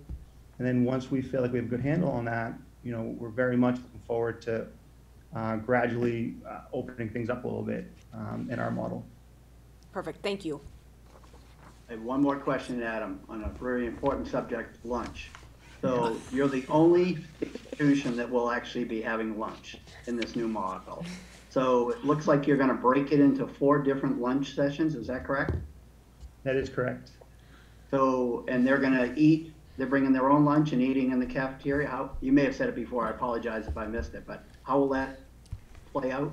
Yeah, no problem. So in, in, in a typical school year, we run four lunches, one per grade level. So in this model, we're still gonna run four lunches, but we're gonna run two per grade level. Uh, and so that will cut the grade level in half. And we've been working with Bob Chiroli on what, uh, capacity looks like in the cafeteria and the gym for students to have lunch. Certainly wanna leverage outdoor weather in the fall to get students outside. Um, and again, tho- those would be really controlled movements in the building until, you know, we feel like things are very safe. Uh, we'll be working with food service on what purchasing lunch could look like, what are the options. Um, and, and so that, that's our game plan now. That was our, probably our biggest hurdle was scheduling a lunch. Uh, but we felt that if we could schedule it, then, then we should do it. Um, and so we're gonna have two lunches per grade level during the day to break down the numbers. Great, thank you. You're Welcome. And Mike, just to jump in there, uh, cleaning in between lunches, um, you know, uh, have to give big shout out to Tom Bankert. He made the suggestion to use disposable tablecloths in between each lunch, so then you don't worry as much about um, disinfecting tabletops if you have if you have disposable tablecloths protecting them in between students. How much time do you have between each lunch session? Yeah, so I think we've scheduled 15 minutes before, uh, between lunches. In, in our world, that's an eternity. Um, usually, usually there 30 seconds in between lunches. So, uh, you know, we're pretty confident with a 15 minute, uh, gap that we can do a really good job cleaning. Great, thanks again. And, and just kind of go back to some of the questions that Susie had and other members. One of the advantages of having a weekly middle school principal group is that we shared our models with each other and every level, elementary, middle, and high school has different variables and unique needs of our students. And, you know, this isn't far off from some of the middle school models that we've been working with in our middle school group uh, in terms of how students are being cohorted and how their, uh, what their day looks like in terms of um, structure. So, you know, I just want to put that out there. Thank you, Adam. Um, I have um, a few questions for Amy um, in regards to the high school model. Um, uh, the first one is I, I see on the schedule that the homeroom is 20 minutes. I'm just wondering um, why it is so long and what may what will they be doing in that uh, homeroom session. Um, the second question is when the kids are remote, you know, do they have to follow the same time structure? So will they be logged in remotely for the 80 minutes? Um, and then the third question would be maybe once the schedules are done and um, things are sort of kind of ironing out, would they ever be able to possibly have those remote days work um, synchronous?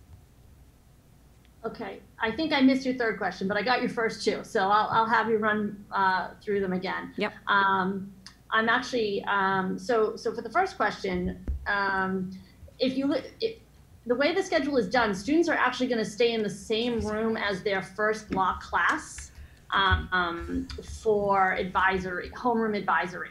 Um, the reason why we extended the time is a couple of things. Um, we thought that um, given where we're coming back from, um, and given what we know about um, social emotional learning um, in general, and the fact that we have been um, needing to go to have an advisory model at the high school, um, we thought that was never a better time than now to have a chunk of time built in at the beginning of the day um, to give teachers a few minutes to pause, to connect with kids, to see how they're feeling to start the day.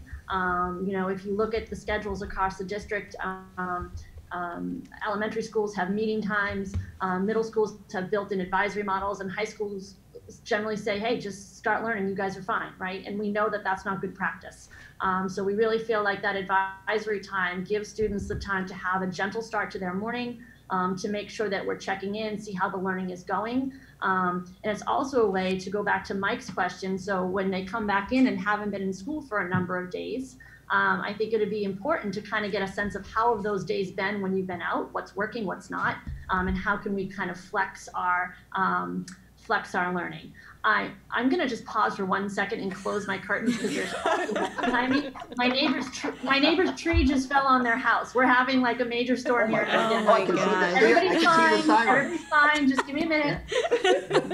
Some sirens out there. So embarrassed, Susan. I'm sorry. Everybody's fine though. Um, A little so- distracting. yeah, I'm like paying no attention to the blinking lights behind me. um, so, Susie, that's why I didn't hear. I'm, I'm sorry, Amy. That's why I didn't hear your third question because I was seeing the lights flash. Um, so, can you repeat the second and third question? Yes. Um, Sorry. No, so the second question was um, when the kids are remotely learning um, on those days that they're not in school, um, it, are they required to like log in and actually have a remote session for 80 minutes, or are those remote sessions shortened? No, so okay, so the way that the schedule looks like, it looks like they're logging in for those 80 minutes, right? Because it's just the way the schedule was designed um, for looks, right? But on those two off days, those days um, go back to what I said earlier about the asynchronous learning. Mhm. Um, I don't envision that most teachers would have kids logging in on those days at that time because they'll be teaching the other half of their class, so they wouldn't be able to. Um, but what would be happening during that time is students, um, to go to what Doug was saying earlier when you asked that attendance question, is students' um, attendance can be tracked on those days by the work that they're going to put in. Um, and I'll give an example of, say, um, an online blog where a teacher is going to post a question, um, have students do a reading, and require them to engage in at least putting two or three responses onto that shared document or that shared blog, if you will, um, on, on that period. So that would demonstrate to a teacher that they've done a significant amount of work to check in on that day. Um, the Wednesdays are different. The Yeah. Wednesdays would be the 40 minute, um, the, the period check-ins throughout the day timed. Um, so that could be counted easily. But the asynchronous would be less um, chunked out like that. However, if there was a stu- so this is what I like about this schedule. If there if you were a student who really needs a structured schedule in front of you, you could say to yourself, and I have a student like this at home um, who needs to know when they need to do their work on the asynchronous learning. They could follow that schedule from home and do their their work during those time chunks. So it really could work in, in either way, and we would support students to kind of do that in a way that works for them. Yeah, okay. And, and my, yeah, it does. And my third question was just, um, you know, once the kids are actually, um, you know, feeling more comfortable with the scheduling, is there any way that they could, um, log in and, and, and sync in with the class virtually if they needed to? I mean, i- is there a way for them to be able to do that, possibly? So I'm going to defer back to Doug's answer. I think that um, as we uh, improve our technologies uh, and we improve um, teachers' ability to be able to flex with um, the kinds of learning that we know that kids can do, um, I think there will be some models at the high school where some teachers will be able to do that. Um, I'm not sure where all teachers do that. yet. Am I frozen again? Yeah, you're okay. Okay, Yep, you're better. back. You're better I have a lot of stuff go on here. I'm so sorry. This is so embarrassing. Quite a neighborhood you live in. Yeah, it's fine. As she's saying, as we improve technology. It's Yeah. usually it's usually very quiet here. So um, yeah. um, so we're just we're just uh, so Amy, I was saying basically we're hoping that um, p- potentially we could get to that model um, for some teachers in some classes. But again, I would say that um, you know that that's growth that that we that we need to do.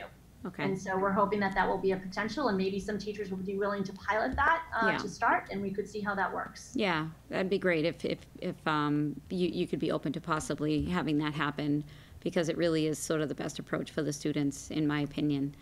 Um, and the only, um, the last question I have maybe for Doug, like with this remote learning uh, model, you know, I just want to make sure that, you know, um, it's very specific in terms of when the teachers are going to be available. Because I feel like in the spring, you know, nothing was really um, set in stone, and teachers were kind of, you know, creating all these remote, um, you know, Zoom classes all hours of the night and things like that. So I just want to make sure that that isn't what is expected of the teachers. Um, I was just going to say it's a great day. segue. I mean, if we want to dig into the next slide that has Yeah, all sure, those absolutely. details, it's it's a great segue.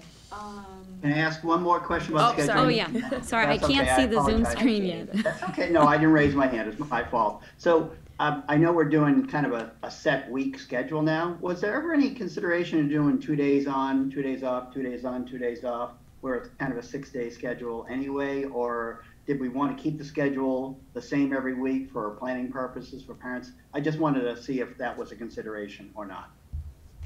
Some schools are doing two days on, two days, two days off, meaning two days in class, two days remote, two days in class. Doesn't matter what day, it, it changes every week. Just curious if that was a consideration or not. So I- I, I can, I can share with you, Mike, I've, I've interacted with about sixty superintendents over the past two weeks. I haven't heard two days on, two days off. You know, we've heard every other week, um, which I, we looked, we discussed that, and, and I think the feeling there was that there's just such a giant gap in time. You know, and the, and the two days in the, the two-one-two model that we're, we're working with at the secondary level, um, is, is pretty common. A number of districts are, are going with that model, um, and they feel like that's something that they can work with. A few of our surrounding districts are going with the every other week, and I understand their reasoning behind that, um, but it just seems like such a tremendous gap in time to kind of get kids into routine when they might potentially be out of school for nine or 10 days. Yeah, I don't disagree with you on that. I, Yeah. St. John's is the one that I've heard that's doing it, Doug. It's the only one I've heard too, to be honest with you. I don't know if other private schools are. Chris, go ahead, sorry. Yeah, no, I had a, a, a different question. It kind of revolves around all schools. Um, and, and I, I guess there's some questions out in the public about what are we gonna do about, uh, testing for staff and students and how often is that gonna be done and what's, what, we have a plan for that.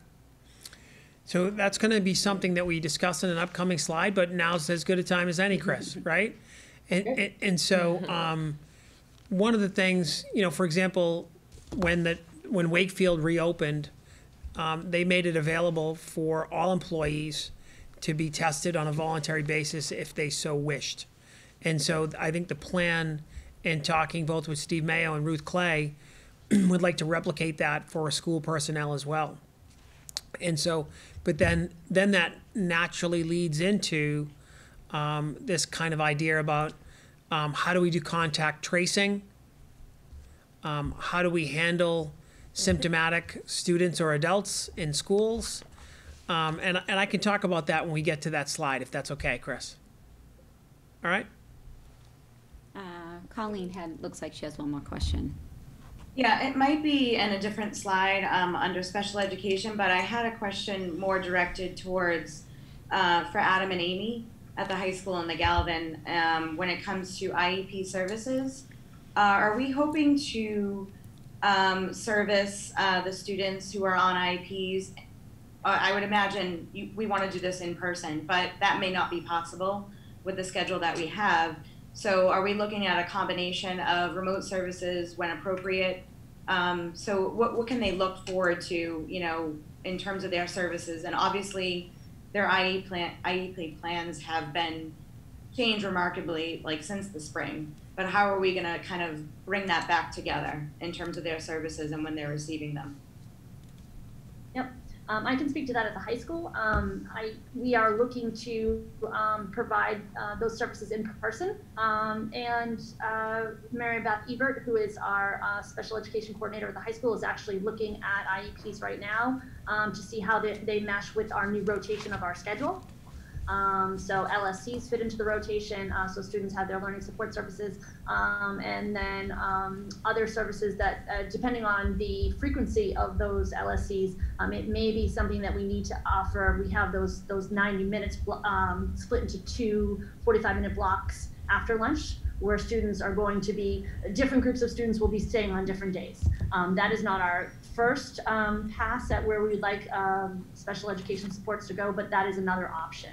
Um, so we are currently looking at that. Um, and then also the other thing that's shifting in our schedule is the blocks are longer. So if you have a 90 minute block and you're getting, uh, or an 80 minute block, sorry, and you're getting services in that block, um, does that then change the needs in the IEP? And that's an individually decided, student by student kind of situation. And so we're looking at that now. But um, we're hoping that all of our services, or at least most of our services, um, are able to be provided there. And then the question of when kids are remote on those days, could they come in in the afternoon for those services is a question we're looking at, at now as well. So we are exploring that. I don't have full answers just yet. No, that, that's good for now. Thank you. And and Colleen, my answer would be identical to Amy's. I mean, we're anticipating providing uh, as many in-person services as possible uh, in the way that we're grouping and scheduling students. And then we're looking at their off days on what, you know, what we can provide as well. Uh, And, I- you know, I'd say our next steps are just going to be more increased conversations, communication with specific families. Excellent. Okay. Thank you. I have one other question for Doug. Um, Doug, and you and I had a brief conversation on this a little while ago. So let's assume for argument's sake, we do go ahead with the hybrid approach. Yep. What criteria would cause us to rethink that and perhaps go to a remote model? Um, so obviously, if the governor um, called for all schools, as he did this past spring, to close down, that would be one. The other would be um, kind of a, a local decision. So, for example, this past March, Mike, we shut down ahead of the state, right? And so, you know, some districts are, are working um, in, in different ways to look at, you know, um, the data. Look at, they want kind of science and the data to guide whether they're in or out of school. And, and we're absolutely open to that conversation. Um, for example, the transmission rates here in Wakefield, you know, are 0.83%. So we're below 1%. So it's, that's pretty darn good. I don't know um, if we can keep it in, in that area. I think we'll, we'll be in pretty good shape. Um, and so the, the, what would cause us to go full remote would be obviously a call from the governor or a call from my office as we did this past spring. Right? And so, and, and this touches on, I think, th- this intersects with Chris's question as well, which is, you know, what happens if you have an adult or a student that's symptomatic, right? So, and how do you handle that at the school level? What do you do? And so, no matter what the um, the numbers are, what our transmission rates are, if we have um, students that or adults that are symptomatic, either in school or outside of school, um, what we will do is figure out who came in contact with that student or with that adult, um, and then we will respond accordingly. We have very detailed guidelines from the Department of Education. Um, we think you know we're going to make that that document only better and more user friendly right? Because uh, we have Mary Doherty, our district nurse coordinator, working um, collaboratively with Kelly Quayle. Um, they're on our district reopening team, um, but they're also kind of heading up um, a group of nurses where they are going to go through um, the DESE guidance, and we're going to kind of create our own document for Wakefield, so it's crystal clear about you know what would what we're doing and how we're going to do it. Um, and even with that, Mike, if there is an exception that's not defined in in the kind of the guidelines or the plan, we're going to be pretty conservative, right? We're going to be pretty conservative. For example, the guidance from the Department of Education talks in a very detailed way about, you know, if someone is symptomatic and they come within 10 feet of someone else for a given period of minutes. Um, and so a conservative approach to that would be we're going to look at that as an interaction or someone coming in contact. You know, we're not going to break out the ruler and say it was seven feet, not eight feet, and it was nine minutes, not seven minutes. Like, we're just going to say that we're going to be conservative. We're going to say if, if, if you're symptomatic and you came in contact with X number of people, those people are going home to quarantine, right? And we will kind of hook them up or connect them with our Board of Health. Um, and we will support them in, in any way we can um, to kind of provide whatever we can for them, what, whatever they need while they're out. And so that's, that's a very, it's a, it's a short answer to a more detailed conversation. Sure. Appreciate it. Thank you. Does anybody else have any uh, questions before Doug and Kara move on to the next section? I have a, um, a, two quick questions about the schedule. So, Monday holidays. So there's a lot of Monday holidays, right? Columbus Day, veteran. Well, Veterans Day isn't always a Monday. No, yeah. got it. Um, but how are we handling holidays, especially when you talk about cohorts that are like the fifth, sixth grade that are Monday, Tuesday, or the cohort in high school that that's that's one of their days that they're in person. Has there been any discussion about that? There has. Um, there has not at, at the reopening team level, but there has been discussion in, in terms of talking about the calendar, Yeah. right? And so one of the things that we need to do, and I, and I loved what Adam Colantoni said, which is, you know, this is a starting point for us, right? And you know, we've we've gotten several email already from the document and email that we released from earlier today, and we've gotten questions like, if we start in a hybrid model, um, and things continue to get better, could will we expand that? Absolutely, the absolutely right. Um, if we start in a hybrid model, and you know, we're working with teachers and students, and we are, we are learning a better way to support learning, then are we going to make that change? Absolutely, right? So this is not, this is a way for us to start school, right? And so this is a way for us to start school. This is a beginning. Um, and so that's something that I, I think Adam pointed out in his comments about the schedule, but um, that's, that's an important piece. Okay. So, for parents that are asking that question, we've got to take another look at the calendar. My, do. My We- secondary question to that was the PD days that were already scheduled in the existing calendar. If all of the ca- PD days are happening on the front end, does that mean, mean none of the PD days are happening during the year? Or do you build in a couple of those because you might still need them? Um, but it, it sounds like there's an overall discussion that needs to be had around the calendar in general. So I, I will just answer the question quickly in regard to professional development days. The commissioner made the school year 170 days, and he's asked us to take 10 at the beginning of the year and block those and use all 10 to prepare adults to come back and students to come back into school safely. And so that's 10 days. We have two additional days um, that we have built in at the start of the school year. We're not going to add those to the 10 we're gonna kind of put those in our pocket and kind of think about if if the you know if our plans shift or we need more time or we need to do some professional development, we might try to work that day in um, later in the calendar year. But we will put that in the calendar for families as a placeholder. But it, that it could it's subject to change based on the learning model that we're in, right? So that's two days, but there's a bunch of half days also in there. It So we- includes the half days as well. Okay. So right and So so parents don't need to worry about half days. On top of So I think, an already shortened learning Yeah. day. I mean, I think in addition to the calendar, I mean, I think as a as a district, we need to rethink professional development in general. Like, Sure. gone are the days of gathering large groups of teachers into a space, or you know, I think there's a lot we need to think about too. And we've tried to be careful with the 10 days that the commissioner has given back to districts in terms of calling that professional development.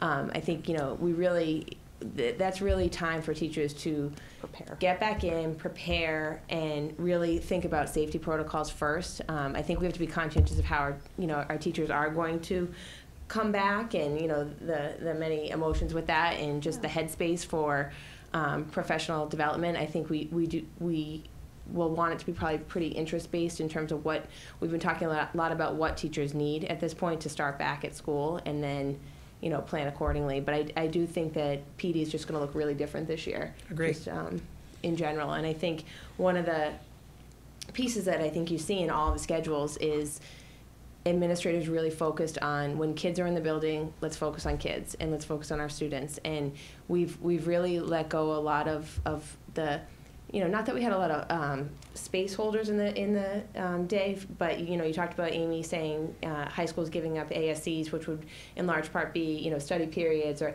we're really focused on having um, a lot of time on learning when when kids are in the building and so um, any planning plcs pd opportunities we're going to try to get outside of those student schedules. I appreciate the distinction between those first ten days not being PD. Yeah, I, I I think it's appreciate you important. making that distinction because it it's important for all of us to think of it Yeah. that way. Yeah. we need to give teachers time to mm-hmm. get back and to reorient and to think, Yes. and it's not PD. There- It's not, that's not at all But- PD. That's but, about preparation. Right. It, it is going to be preparation, but there is, we, we do need to squeeze some professional development in there. Okay. And I do think we're going to collaborate with teacher leaders to do that. Mm-hmm. I think we might do some equity, diversity, and inclusion work, Yep. Right? Um, Certainly, techni- tech- technology training. I think we're Yeah. gonna, Right. there's gonna be some That's been technology ongoing stuff, through the so, summer. so professional development, it might, it might feel like, and I know Chris is raising his hand, it might feel more like training than professional learning. Mm-hmm. Chris? During August, you know, teachers are allowed back into their rooms to prepare their rooms. Is that just not gonna happen this year, and that's what these ten days are for? Um, so the plan and something that we're working on right now, Chris, is, and we're working with Bob Shiroli around trying to create a calendar, a predictable calendar of, of when we can let teachers back into the building. But, but we also need to do that with structure. Um, so teachers are, uh, so, so many of our teachers have taught so long with, with so many of their colleagues, um, you know, things like social distancing and safety is, is going to be an adjustment. I think our kids are going to rock with this pretty well, and it's going to be more of an adjustment for the adults. Um, but we're looking to do it, Chris, um, well before September 2nd, so adults can get in. So, yes. But it won't be like it they've gotten in in the past. Won't be that type of schedule. Does that answer your question? Okay. Do we want to allow our principals to sign off, or do you think safer to the end? Yeah. So, uh, Kara just made a, a great point. I, you know, it's, it's about nine o'clock. Um, I just wanted to just ask our principals if they have any closing remarks and we can let you guys sign off and, and then Karen and I can, and Christine and, and Bob can finish the slideshow. Or the presentation. Any, any closing thoughts? Thank you ready to say much. Appreciate your time. Very helpful. Thank you, Thank guys. everyone guys. for their questions tonight, thoughtful questions. I know we have a, a large audience um, watching. Uh, all of our principals, uh, we're just excited to get our school communities back, and we just we need a starting point, and there's a lot of information to digest. And, and these plans are very fluid, um, but we need a starting point to just think about recreating our communities and our schools. So, just appreciate the time tonight. and We look forward to meeting with our school communities this week. Thank you. Thank you, good night. Thanks, everybody. Thank you very much. Thank you very much. So can we move? Yep. So, oh, Chris, did you have another question, or are you waving? You're on mute. Okay, so I think we can move on. All right. Um, so we'd just like to move ahead in the slideshow. So the third plan that we created was a remote plan. And, and you know, one of the things, one of the questions that came up, Amy asked this question about schedules and how critical schedule schedules are. You'll see at kind of halfway down the slide, um, we've shared this and we've used this exact language. You know, things uh, for remote instruction model will be more robust in the fall now, right? As the remote part, either as a standalone or as the part of our hybrid model, right? It needs to be, schedules need to be predictable, routine for, for and routines for families and students, right? Communication needs to be more consistent. Um, technology tools need to be more accessible. And so, um, and I know Christine is going to talk a little bit more about technology. Um, but I, I feel like in our, I feel like we've covered almost all of this. I don't know if anyone has any questions about any of the bullets on this slide. I, I feel like we've, we've talked at least once or twice about every one of them. Hey- Hey Doug? Yes, One sir. thing that, that kind of, kind of gnaws at me is this remote learning academy Yeah. description. It's almost like we're segregating these people into a different bucket. Yep. You know, it just doesn't feel right. They Yep. should all be somehow brought together. So I don't know, you really want to have a specific program for that or just say there are kids that are doing remote. Um, just, it, I don't know, something bothers me about that. Mm-hmm. Yeah, and, and so it, I'm glad you made that distinction, Mike, because I don't know that that's clear for our viewers at, our viewers at home, right? And mm-hmm. so in, in addition to the plans that districts and superintendents and administrators were asked to create, these three plans, um, the Department of Education has also said that parents have a right um, to just say to just opt out of a plan and say I'm gonna I'm going to uh, go remote, and then it's up to the district to figure out how to structure um, what that might look like, right? And so it, it's a it's an so conceptually, I think when us calling it um, a remote academy is just a way to try to create a structure, Mike, and not to segregate or create something different, but just to try to create some structure around if a student is in a hybrid, we we they're we're accounting for them differently than if a student is in a remote model, right? And so, and the other part of this, Mike, is, is that districts are not being given additional money to hire a whole new remote faculty, right? And so it's it's we're trying to kind of balance with the resources that we have to create services that are really improved over what we did last spring, right? So it, it's not meant to segregate. So just just a little bit of information behind that. Just, but I just, I, that, that age group has a sensitivity to get, having labels attached to them. No, I- And I think you don't want to do anything to make it negative. Yeah. Point point is well taken. Good point. You know, but but again, just to be clear, our remote, the students that are, will be opting into a remote, full remote plan, um, will range from K through twelve. Right. So just a, just an FYI, and we'll be able to report more on that. And Great, thank you. Doug, for clarity, they will not be assigned to teams, hybrid teams, with hybrid teachers.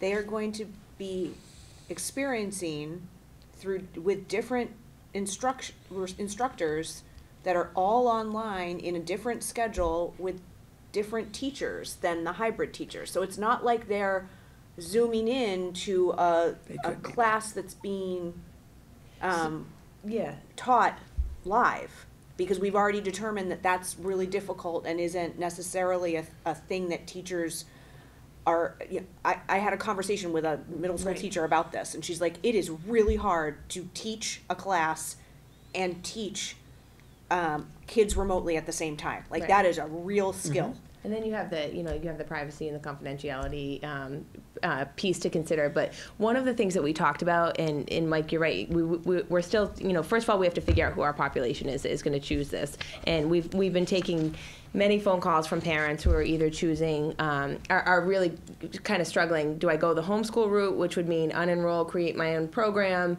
go by my own schedule, or see what the district has to offer on the remote side of things? So, so we're talking that through with families as they're making those decisions.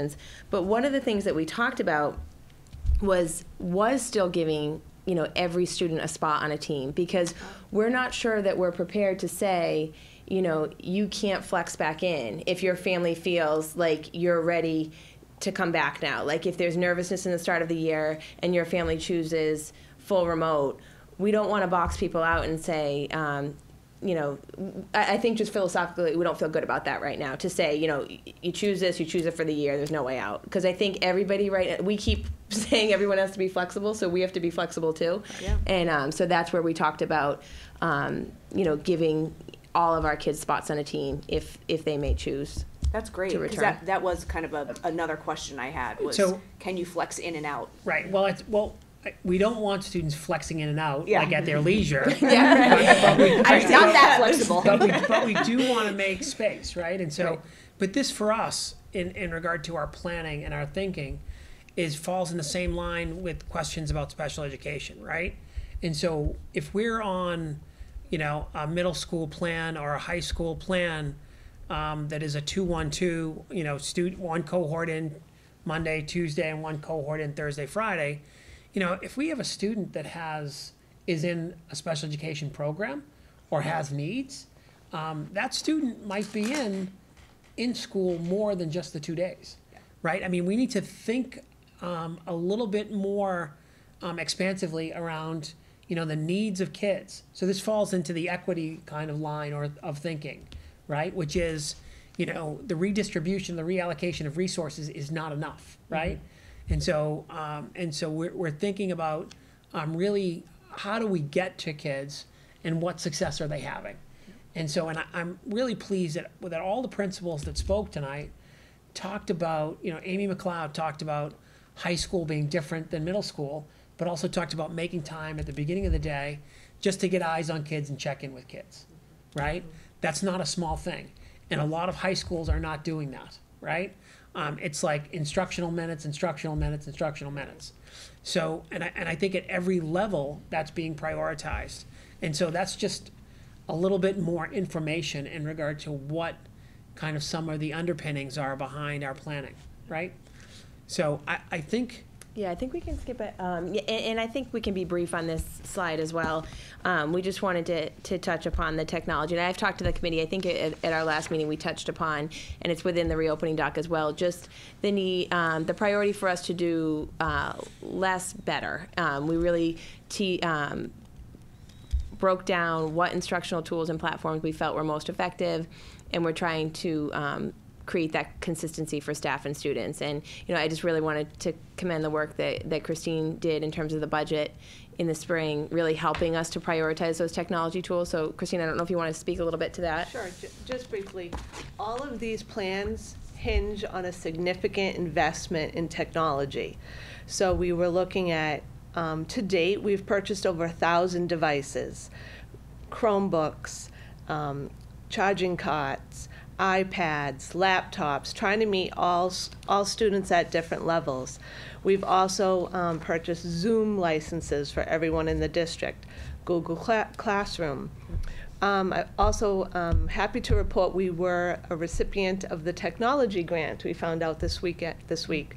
So we received about sixty-six thousand dollars in addition um, to the investments we've made to date. So we're going to be spending that probably this week. Um, it goes so fast. Um, but yeah, so we've been working for a curriculum, for devices, but it's really to support the, the synchron- synchronous learning and the asynchronous learning. Now, of course, there's some training that has to go along with that, but um, more to come for that. Um, I don't know if anyone has any Mike has- questions. Mike- Mike has- Sure. has a question. Christine, Christine, so how are you feeling about our budget at this point? So we're lucky that we received the CARES Act grant. We received a couple of, you know, but, you know, we have more work to do. Yep. Yep. I know we're trying to get money from the state. Right. All this stuff. The Yep. commissioner has talked about more federal stimulus money coming, so um, we haven't heard definitely. And the state really haven't, hasn't even set their budget yet. So, you know, we still have to, you know, we have a, a final number right now for Chapter 70. We look like we've been level funded in that respect. Um, and we just have, we're applying for every grant that's out there, everything that we can, that we can try. But, um, you know, we're, we're hoping to do the best we can. I see that Chris, ha- Chris has a question. question. thought I had a, an email from Jason Lewis like yesterday that said our chapter seventy was up like almost nine hundred thousand dollars. So the chapter seventy was only up by twenty-four thousand dollars. The nine hundred thousand includes the CARES Act grant and the COVID relief grant. Oh, they didn't word it that. I know, I know. It made it look like chapter seventy was up, but it's not. It's one-time funding from the federal government. It, So- it, it did look that way, Chris. Right. That was a little little sleight of hand. No. Um, very well presented, but if you look a little deeper, not so much. I gu- I read it for what it said, I didn't think it was gonna be misleading. No? It, it's on the Des, it's on the DESE website, website by district, but yeah, they really drilled it down. Thank you. So we, we are also collaborating with um, Steve Maio and, you know, the leaders on the town side. We're keeping track of, of all, all expenditures related to uh, the pandemic and to kind of our modified schedule, right? And, and like Christine said, I don't, I don't think that she's really doing this justice, right? So we have a standing meeting um, with our finance subcommittee every Thursday morning. Um, again, we keep, we're applying for every grant, um, public grants, we're applying for private grants. You know, the Wakefield Education Foundation, um, has just granted us, um, twenty-five thousand dollars to support us with technology. Um, and so, which is really just, um, so amazing, you know, and, and so, um, we- we're, so we're, in terms of opening school, I think we're in good shape. We do need to pay very close attention um, to our overall budget, and I think we should be good. I think there are questions. There are a lot of lot more questions than answers right now around things like um, extracurricular activities, sports. Um, you know, if, if if we start school in a remote model, chances are pretty good that there will be no fall athletics um, or extracurricular activities. Um, and so, and that's going to be a significant loss for students and families. And, and I don't want to say just students. Sorry, I assume if we start in a hybrid and we go to remote, then all athletics will stop at that point in time too. Is that your best guess as well? Right. Well, I, you know, the commissioner, the governor and the commissioner both use the same, same language, Mike.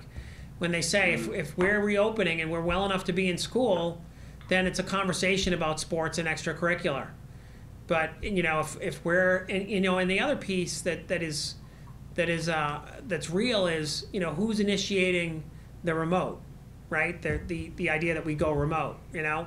If we go remote because we need to because of the pandemic, or because the governor has required us to quarantine, that's a different situation than us simply starting in a remote, right? And so, and I think that that's viewed very differently um, by the leaders at the Department of Education and, and the leaders at the state as well. So, Great, thank you. sure. Right, so I think we can transition to the Yep. facilities and um, safety preparation slide, which um, we have Bob here to help us speak to some of those points. Sure, thanks, Kara. Um, so to preface, uh, before I go through these bullets, everything we've been um, preparing to do uh, for facilities has been based off of safety and, and trying to make schools the safest place available for students, teachers, um, students, staff, and families um, to return. So uh, first and foremost, PPE. Um, we've purchased uh, roughly 12 weeks worth of PPE, and, and you know we'll reassess as as if we come back on a hybrid model and as it moves forward.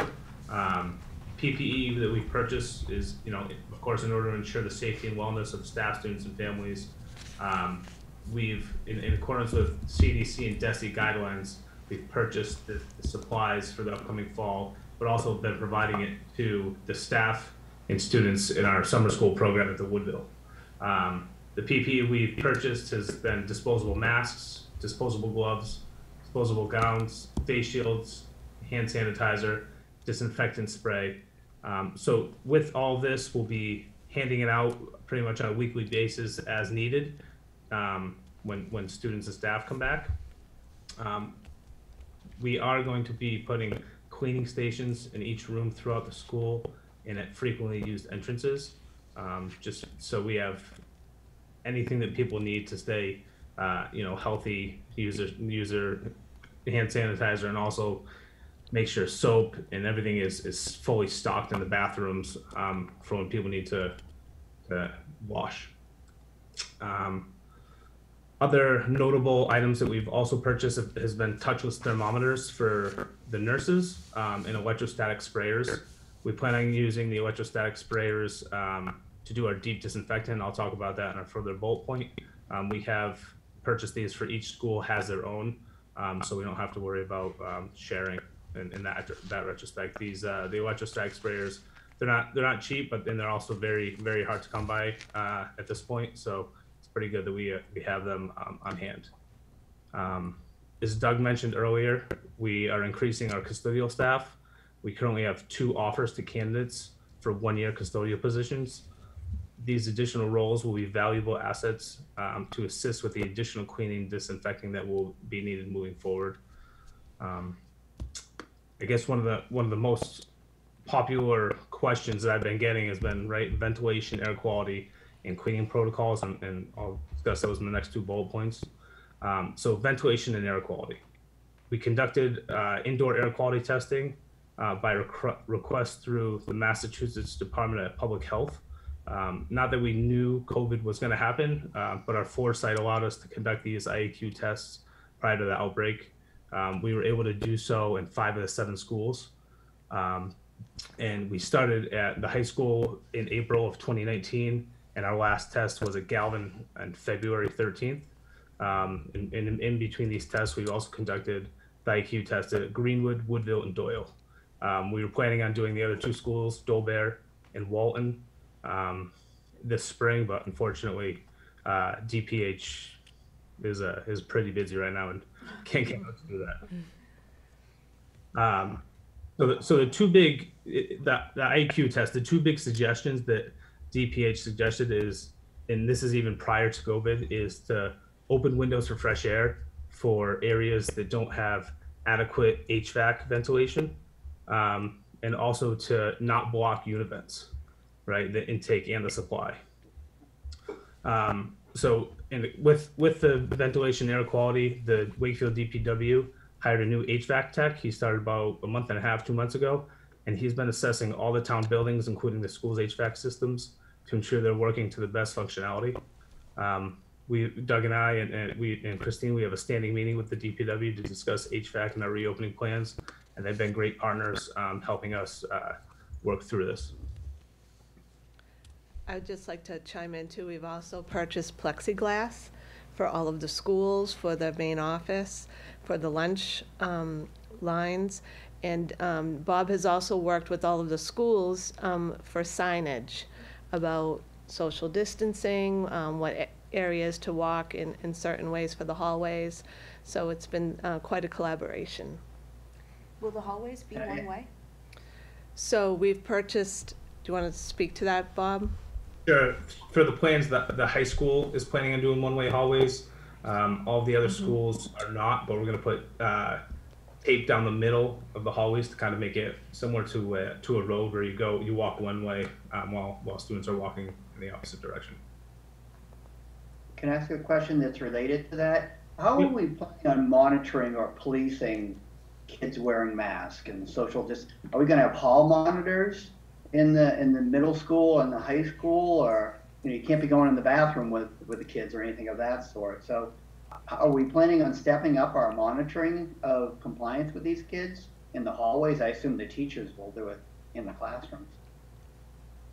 So I think I can take that question, Mike. And so the, the plan would be that when students are passing, you know, teachers are present in the hallway and, and kind of attentive to students during unstructured times. You heard at the middle level that there's not going to be much passing.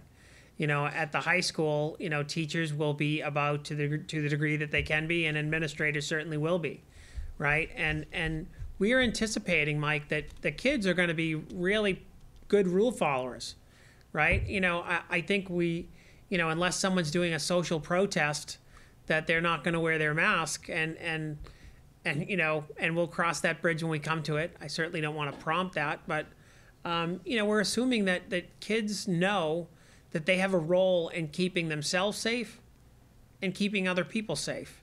And we think that they're going to act accordingly. You know, we, we have kids right now in our summer program, Mike, and, and all of them, all of them, to a person, they're, they fall, they're following the rules brilliantly. Now, they're only our younger guys. Um, you know, but, but again, we'll, we'll cross that bridge when we come to it. And, uh, you know, I, again, that kids understand pretty well that this is a pandemic and, and safety is critical. Um, and kids have taken direction pretty well. And I think, to be honest with you, I think that they're just so excited to be back in any way that they can be. I, I think it's it's going to go well in regard to the students. If I There- could, Yeah, I oh, agree. yeah. I don't think anyone wants to be the one who causes us to have to go back to remote. Yeah. So hopefully that will help. If, if I can just add to that too, one of the pieces of continued planning that we're talking about is related to our student handbooks, and we have student handbooks at every level, and, and the point of, of those handbooks is really, you know, to keep our schools and our community safe. And I think we all agree that there are going to be additional um, revisions to those handbooks for the 2021 school year, um, just to be thinking about how we partner with students and families to keep all of our um, you know, our whole community safe. And again, you know, what we put in print, I think we're all realistic to know that if you put it in writing, you know, it's not it's not as easy live in action. But I think um, I agree with Doug that I think we'll have a lot of uh, cooperation around that. Yeah, you know, one of our drivers, I want to be com- completely clear. One of our drivers is high expectations for everyone that's in our system, right? And so I, I think that, you know, everyone knows that they're not coming back to the jobs that they left, right? And so everyone knows that, you know, and Rick Manzi, one of the WA leaders, likes to say, this is an all hands event, right? This is not what we left. This is an all hands event, and I and it is, right? And so people are going to have to um, do things differently. And and our working theory, based on the work that we've done so far, is that people are are more than willing um, to really partake and to to kind of create learning opportunities for kids in any way that they can, as long as it's safe. So, that's just a quick. I just had one more question for Bob, um, in terms of, um, cleaning the bathrooms. Um, can you explain maybe how you plan to do that, and is there a program, uh, district-wide throughout the day? Um, yeah, so so we're working on those, and it, it, it really depends on each school's schedule, right? Um, so we're gonna have to close bathrooms down throughout the day as, as frequently as we can. We're gonna have to look at the schedules, um, when students are in classrooms or, or what their what their breaks are. Um, so so we're really gonna have to try to do that. But one thing that we're we're looking for and waiting on is a little guidance from the from the state um, and that's the the Mass Facilities Association. Um, we are we're that I'm involved in. We're looking at all the districts are trying to collaborate and, and come up with cleaning protocols that we could share um, statewide. So it's kind of not just this district district's doing this, that district's doing that. We're trying to collaborate together to to, to get cleaning protocols. Um, like you asked, Amy. I mean, right? What is the what is the the plan? But if we if we are cleaning throughout the day, we're gonna have to shut bathrooms down. And, and does that stop um, students and staff from going to wash their hands more frequently? Right, you have to ask that question as well. Um, so there's there, there's kind of a, a give and take on, on on what you do with each protocol. Great, thank you. Yep. Uh, anybody else have any other questions? All right, you can move on. So we just have a few more slides. Um, our next slide up is, is about nurses and medical support. And so we, we are hiring, um, right now, we have a job posted for one additional nurse. Um, we've hired a nurse for our summer program. And we also have, um, contracted with another, a second nurse to support our summer programming as well. And so over at Woodville, we're providing services to 41 students. Um, and we have two nurses there, um, and, and our faculty and staff are there. We also have um, students working there in the summer supporting um, classrooms as well. So that's gone exceptionally well. Um, I've talked a little bit about protocols in, for symptomatic students. We'll be publishing that. We'll be putting that on our website. And so um, as soon as we get that completed. And so in terms of contact tracing, that will not fall to our school nurses. Um, that will be done by the Board of Health. And um, I'm Ruth Clay joined our, our call earlier today um, for our district reopening team, um, and will continue to be kind of a contact for us. And so, and we also, whenever we have questions, we don't kind of hesitate to call um, the State Board of Health as well. And so, we'll, we'll continue to do that. And so, that's a quick there. Um, Additional planning and consideration? Doug, So- could I only, only while we're on that slide, so we're in school, a kid says they don't feel well. Yep. Obviously, we're not gonna know they're symptomatic because they haven't been tested yet. What's the protocol gonna be in our new environment about, or an adult for that matter? Well, it de- depends what symptoms that they have, Mike. Not all symptoms are, you know, I think that there are, there are eight or 10 symptoms that, you know, we, we look for that are indicators of, of COVID, right? And so if we have a first grader that's down after snack because, you know, they've eaten too much, um, then I think we need to kind of differentiate between what is what is a symptomatic situation that we need to respond to. Um, but if someone is symptomatic, Mike, um, we will we would quarantine them in, in school. There's a there will be a designated space to quarantine students. Um, they would be supervised um, by by by our personnel um, until they are picked up, um, and and use the nurse. Our nurses will be um, wearing PPEs, right? And so if, if they know that a student is symptomatic, um, my guess is, in, in I haven't worked this out with Mary and, and Kelly yet, but they would probably increase the level of, of protection that they have on um, while they're supervising the student and make sure that the student kind of gets where they belong so that they can be tested and cared for. Um, and then the next part of that is we will figure out who that student came in contact with. Um, and we would kind of make kind of the, the option for them, not the option, but we would make it so that they can, they could, they too could quarantine for the 14 day limit, right? And so we would, and we would go from there, right? Thank you very much. Sure. Again, Mike, I'm giving a short answer to a more detailed scenario, and, and, and so we're, we're gonna have more information on that. Okay? So additional planning considerations and things that we're looking at.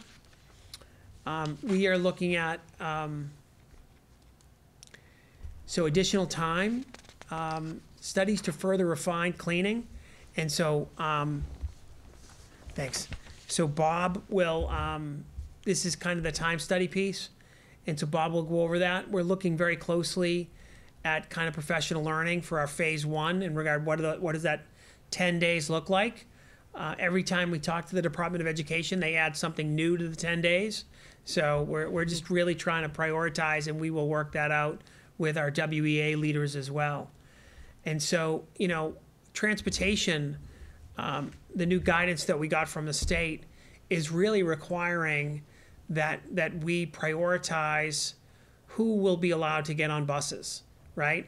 In the past, we had you know over 400 riders on nine buses, and so now with our we're still only have nine buses contracted to come to to Wakefield, um, and they serve different schools, so they'll be cleaned in between runs, but with our social distancing requ- requirements, um, we can we're only going to be able to put you know 18 to 20 students on a bus that used to hold 57 students. So that's going to require us, like other districts, to prioritize who absolutely needs to be on that bus. And so obviously we'll be providing transportation for special education students um, who, who need that in their IEP. Um, and we will also be providing transportation for students in grades K through six that live two miles or more away from their, their home school. And so, and if, if we, if those restrictions are eased up, we would obviously add uh, more students to the bus as that becomes um, a possibility for us. As I shared, we continue to consult with the Board of Health on schedules and protocols. The information that we're presenting to you, we've shared with them. It's kind of just like our graduation plans, just like any of our gathering plans, right? The information that we're sharing here has been seen by um, by Ruth, and so Ruth Clay, that is.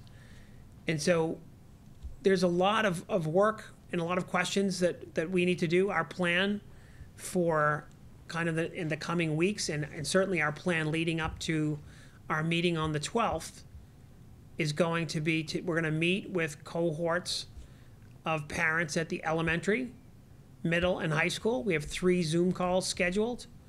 Um, we might schedule another event if we can squeeze it in this week.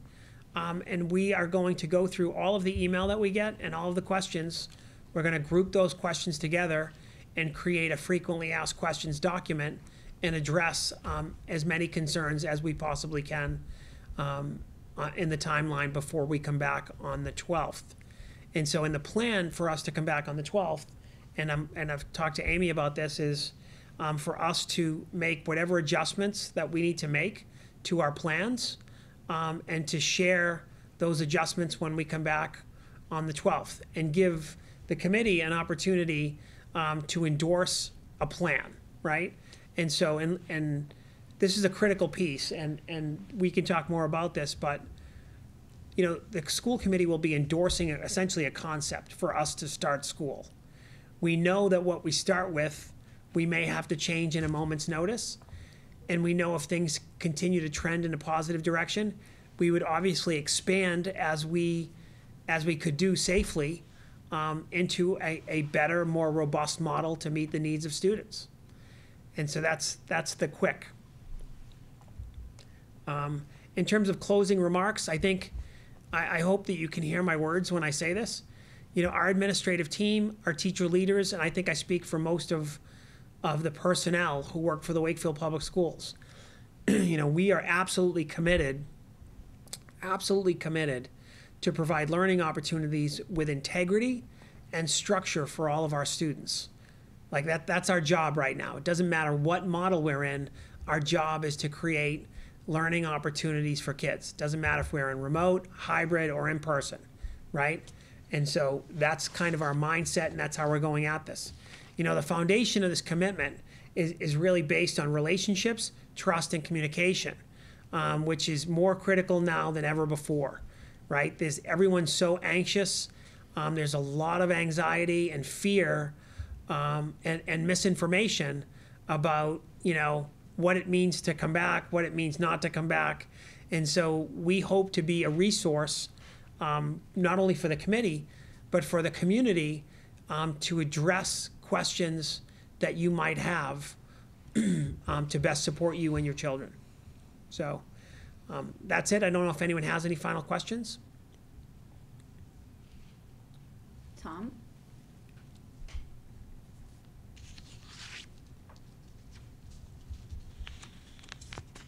Hi, uh, so, uh, first of all, certainly, uh, thank you, uh, Doug and Kara and the entire team, all the principals that, uh, that were with us earlier and everyone that constituted the working groups throughout the summer to get us to where we are tonight. An incredible amount of work and uh, incredible, uh, um, thoughtfulness. One of the things I think that's most impressive to me is the level of thoughtfulness, um, and even Doug in your closing remarks, talking about integrity and structure um, then that certainly, in my view, uh, very much shined through um, in the, in this work. Um, I hadn't actually said anything earlier. My colleagues asked uh, probably all, if not more, of the questions that I could even think of. Uh, but I did have a couple with related to the last couple of slides, um, if I if I may. Of course. Uh, uh, one was about the, the technology piece. I know that, that Christine mentioned um, uh, one, one, we certainly got, when we're getting the sixty-six thousand dollar grant for technology, that's, that is, uh, that is great news. So congratulations on receiving that additional, additional grant. Uh, one of the things that, um, around technology, but it's also a larger picture question, which doesn't have to be part of tonight, but could be part of next week, um, is the sharing of the data from the survey with regard to the questions actually asked. I think it was tremendously important as part of tonight's presentation to share with us sort of the, uh, the demographic breakdown of um, who responded and, you know, what from what schools and what categories and parents and staff and, and so forth. And I think that was that was incredible. I think the number of people that responded was also uh, very impressive, uh, which obviously speaks to the fact that lots of people in town, parents and others, are really paying attention to this, which is which is critical news as well.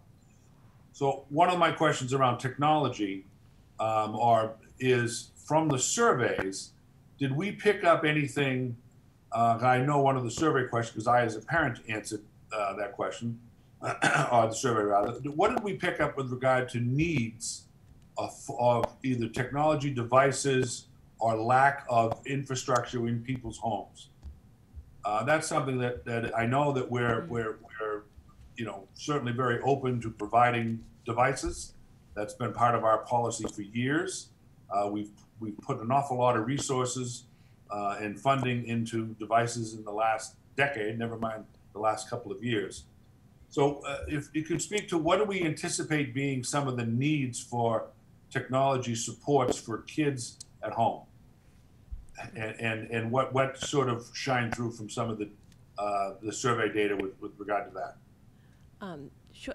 Tom, I can jump in on that and just give, uh, you know, I, I don't have the um, survey results right in front of me, but from um, going through it, I think we, we broke it out based on what families had access to um, for internet and whether or not they needed devices. I felt like the internet piece, um, I think we were at like 99% of respondents had access to internet in the home.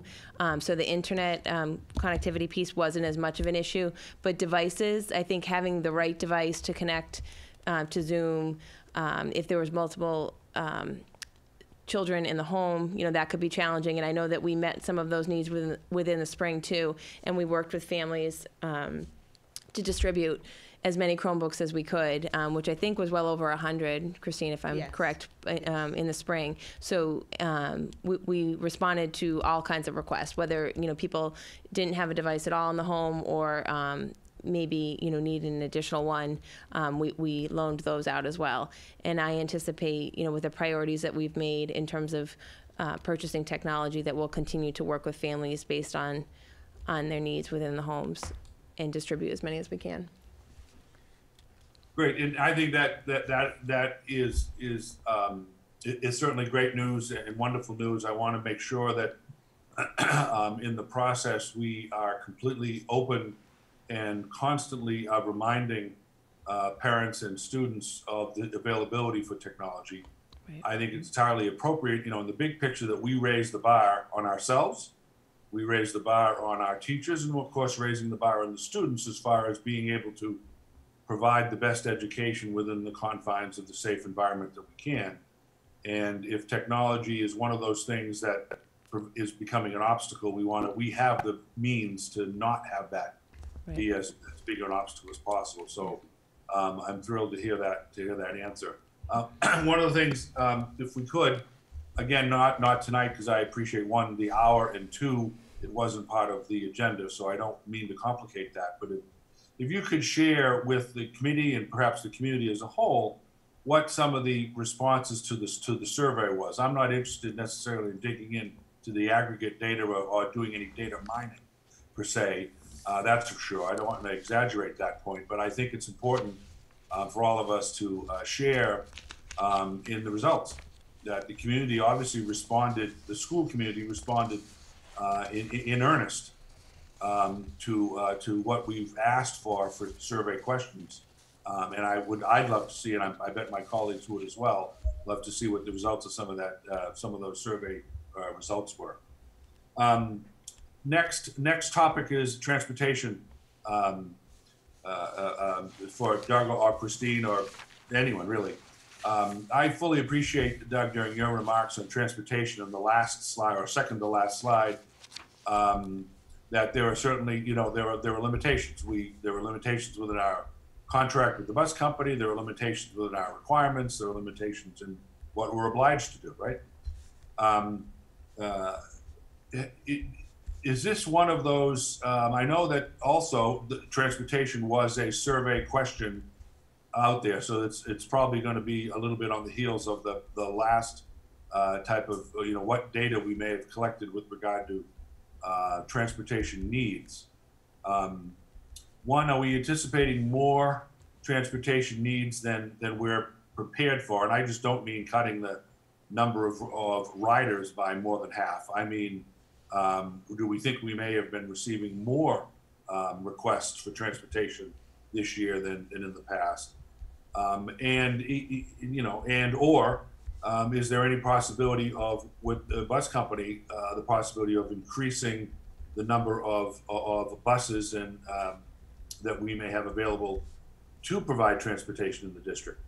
You know, we are, you know, obviously going forward with some of the models, some, one of the models presented, if not a combination of all of them.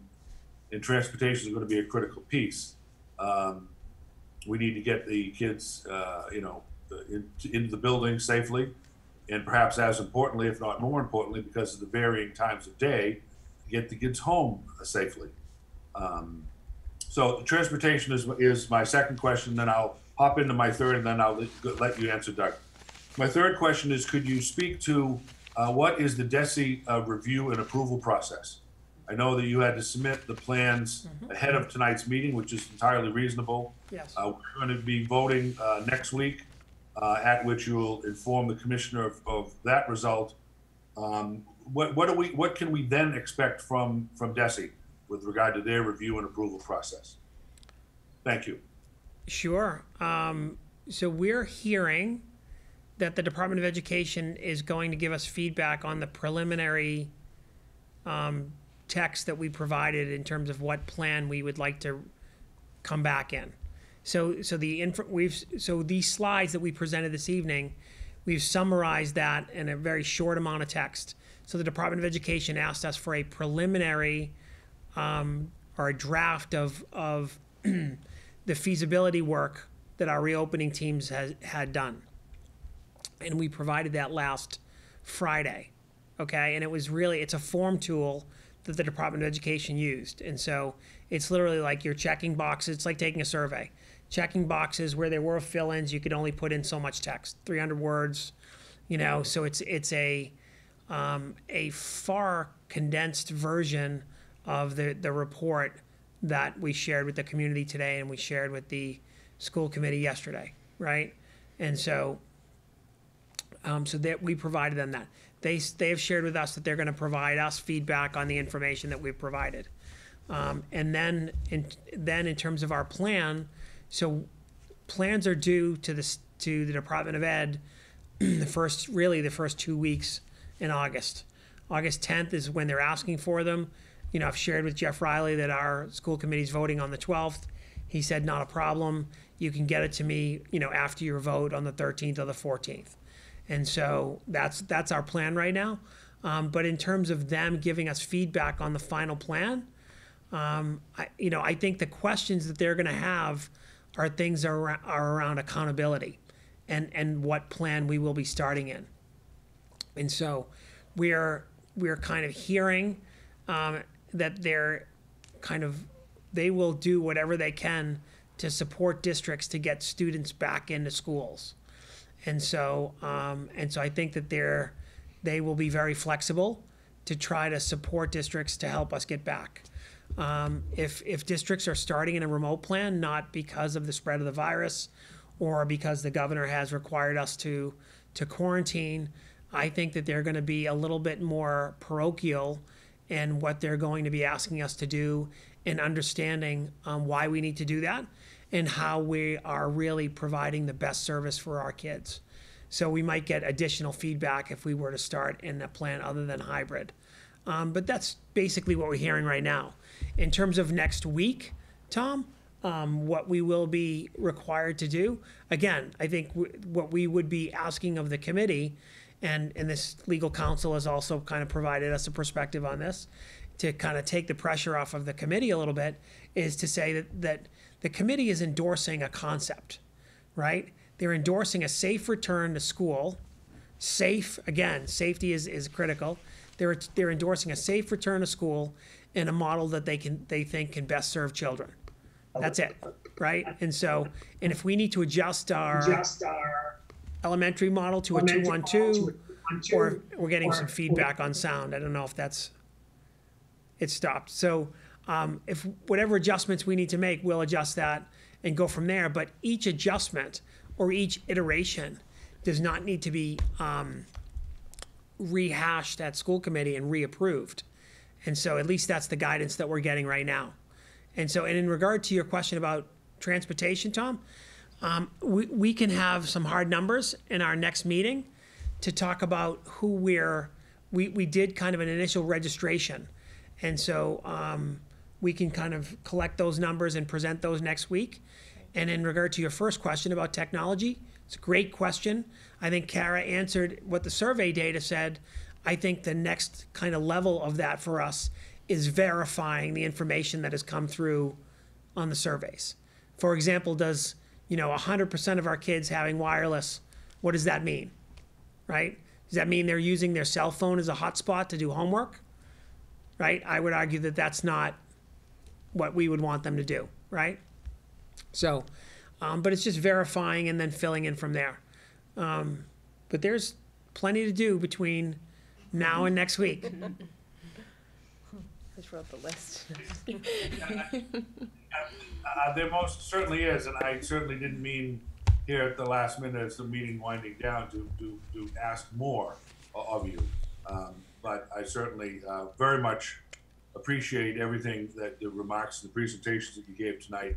One thing that comes, uh, uh, you know, glaring, um, through, at least for me, was you, you and your team's focus on kids, on students, on safety, on, and what, what's on best for the education, social and emotional education of the students. Yeah. Um, while- while certainly things can come around to, to, to make improvements with regard to scheduling, convenience for parents and other things of that, um, your primacy on, um, on education for students and safety, um, is very much appreciated, both from my perspective as a committee member and as a parent.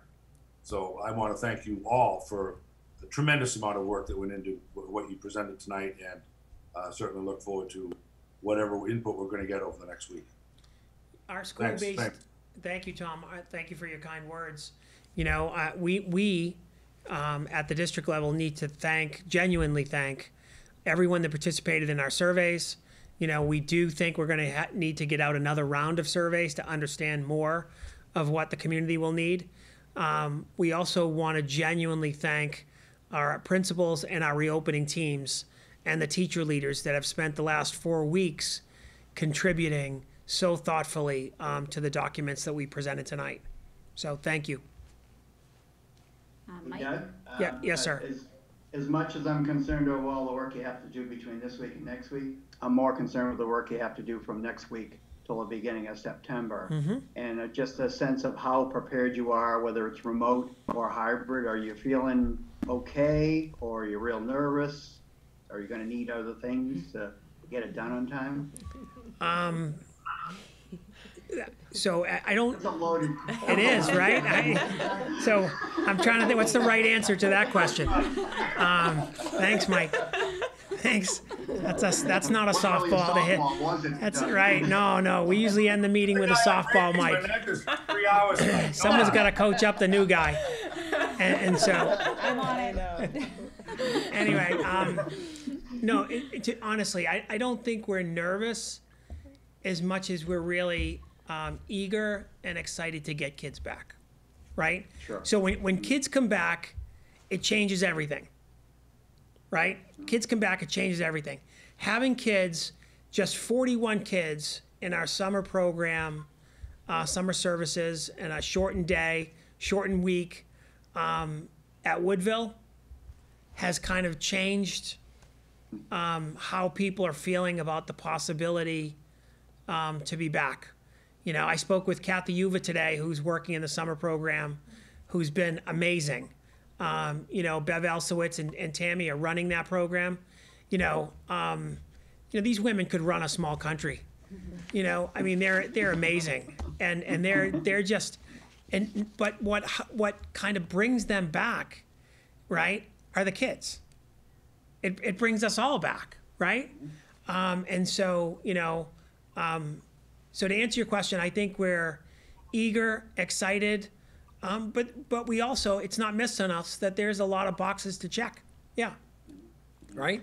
But in, in but I will say that in looking at the calendar with the 10 days that are added to the front of the school year, that gives us more time. Right? That gives us more time. And and to be honest, I'm grateful to have it.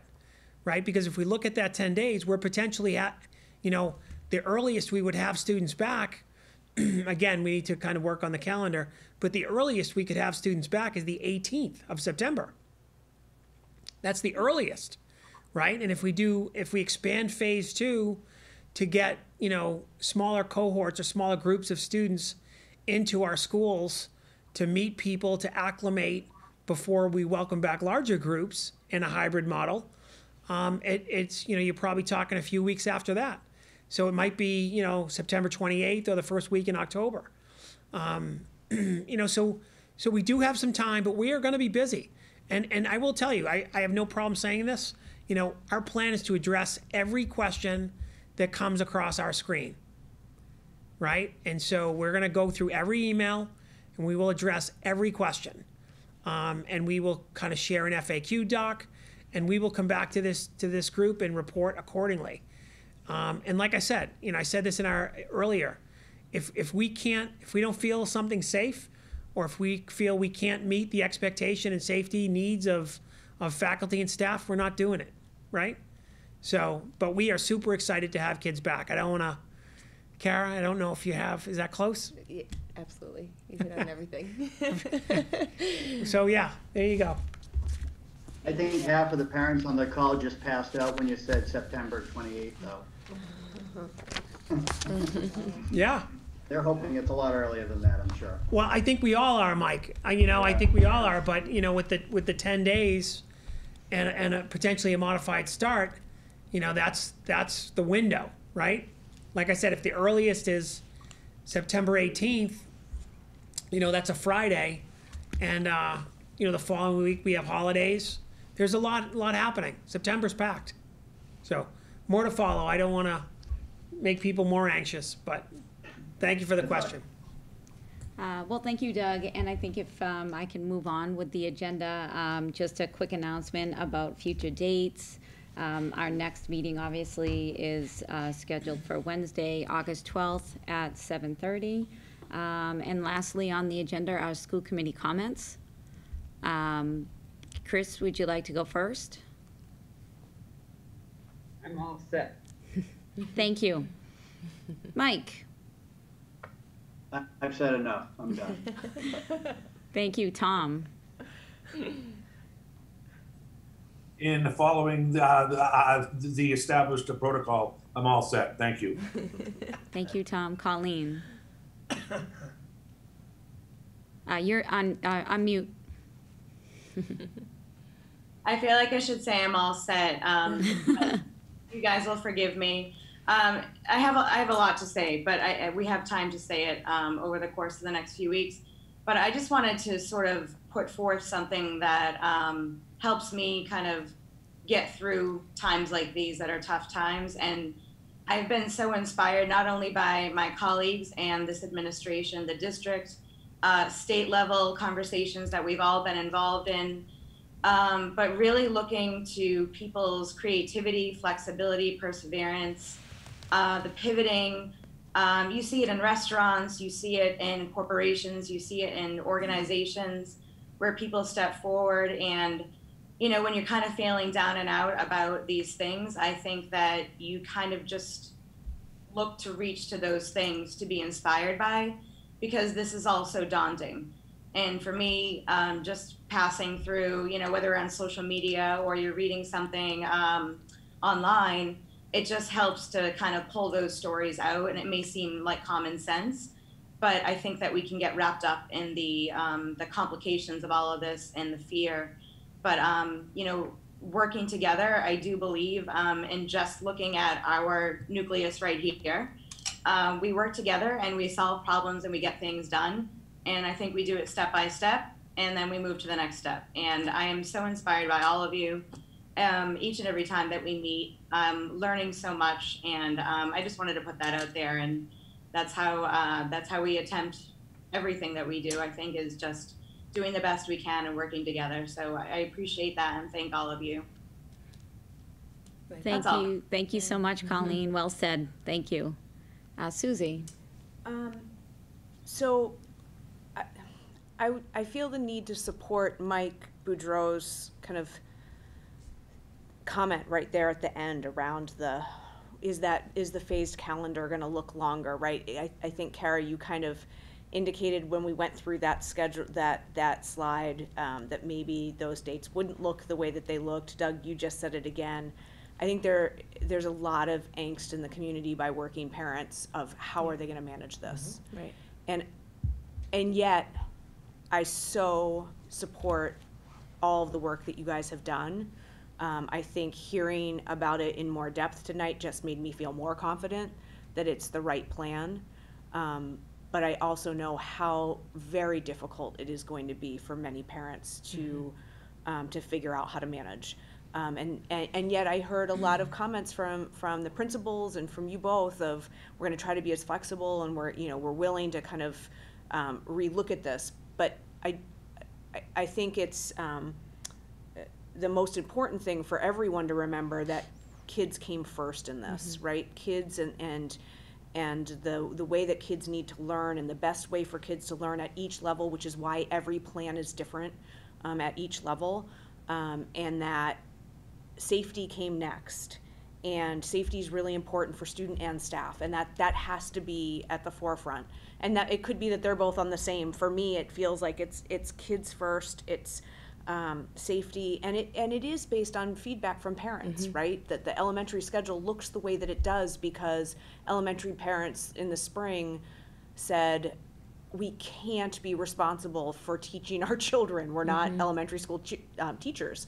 And so I just, I, I feel like we're in a, in a tough position in trying to support those working parents because the, the, what, what is being proposed will be very difficult for people to manage.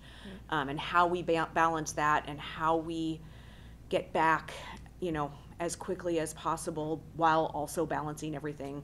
I just, I feel like we've got to remember that, um, that, that this is going to be difficult for a lot of parents to manage logistically. Um, and how we support that, um, it just needs to also be kind of top of mind. And I'm just thinking about our day tomorrow and just how we've set up our weeks. And um, tomorrow is, is our day to check in with each of the building um, reopening reps, administrative administrators at a minimum, and I'm just, you know, between the I think the emails that we've received already, the feedback we've heard tonight, I think we have a lot of talking points to go in, um, and that's and, and that was our point in all of this too. You know, as Doug said, we're putting out a concept, we're putting out what we think um, educationally is best for kids at every level.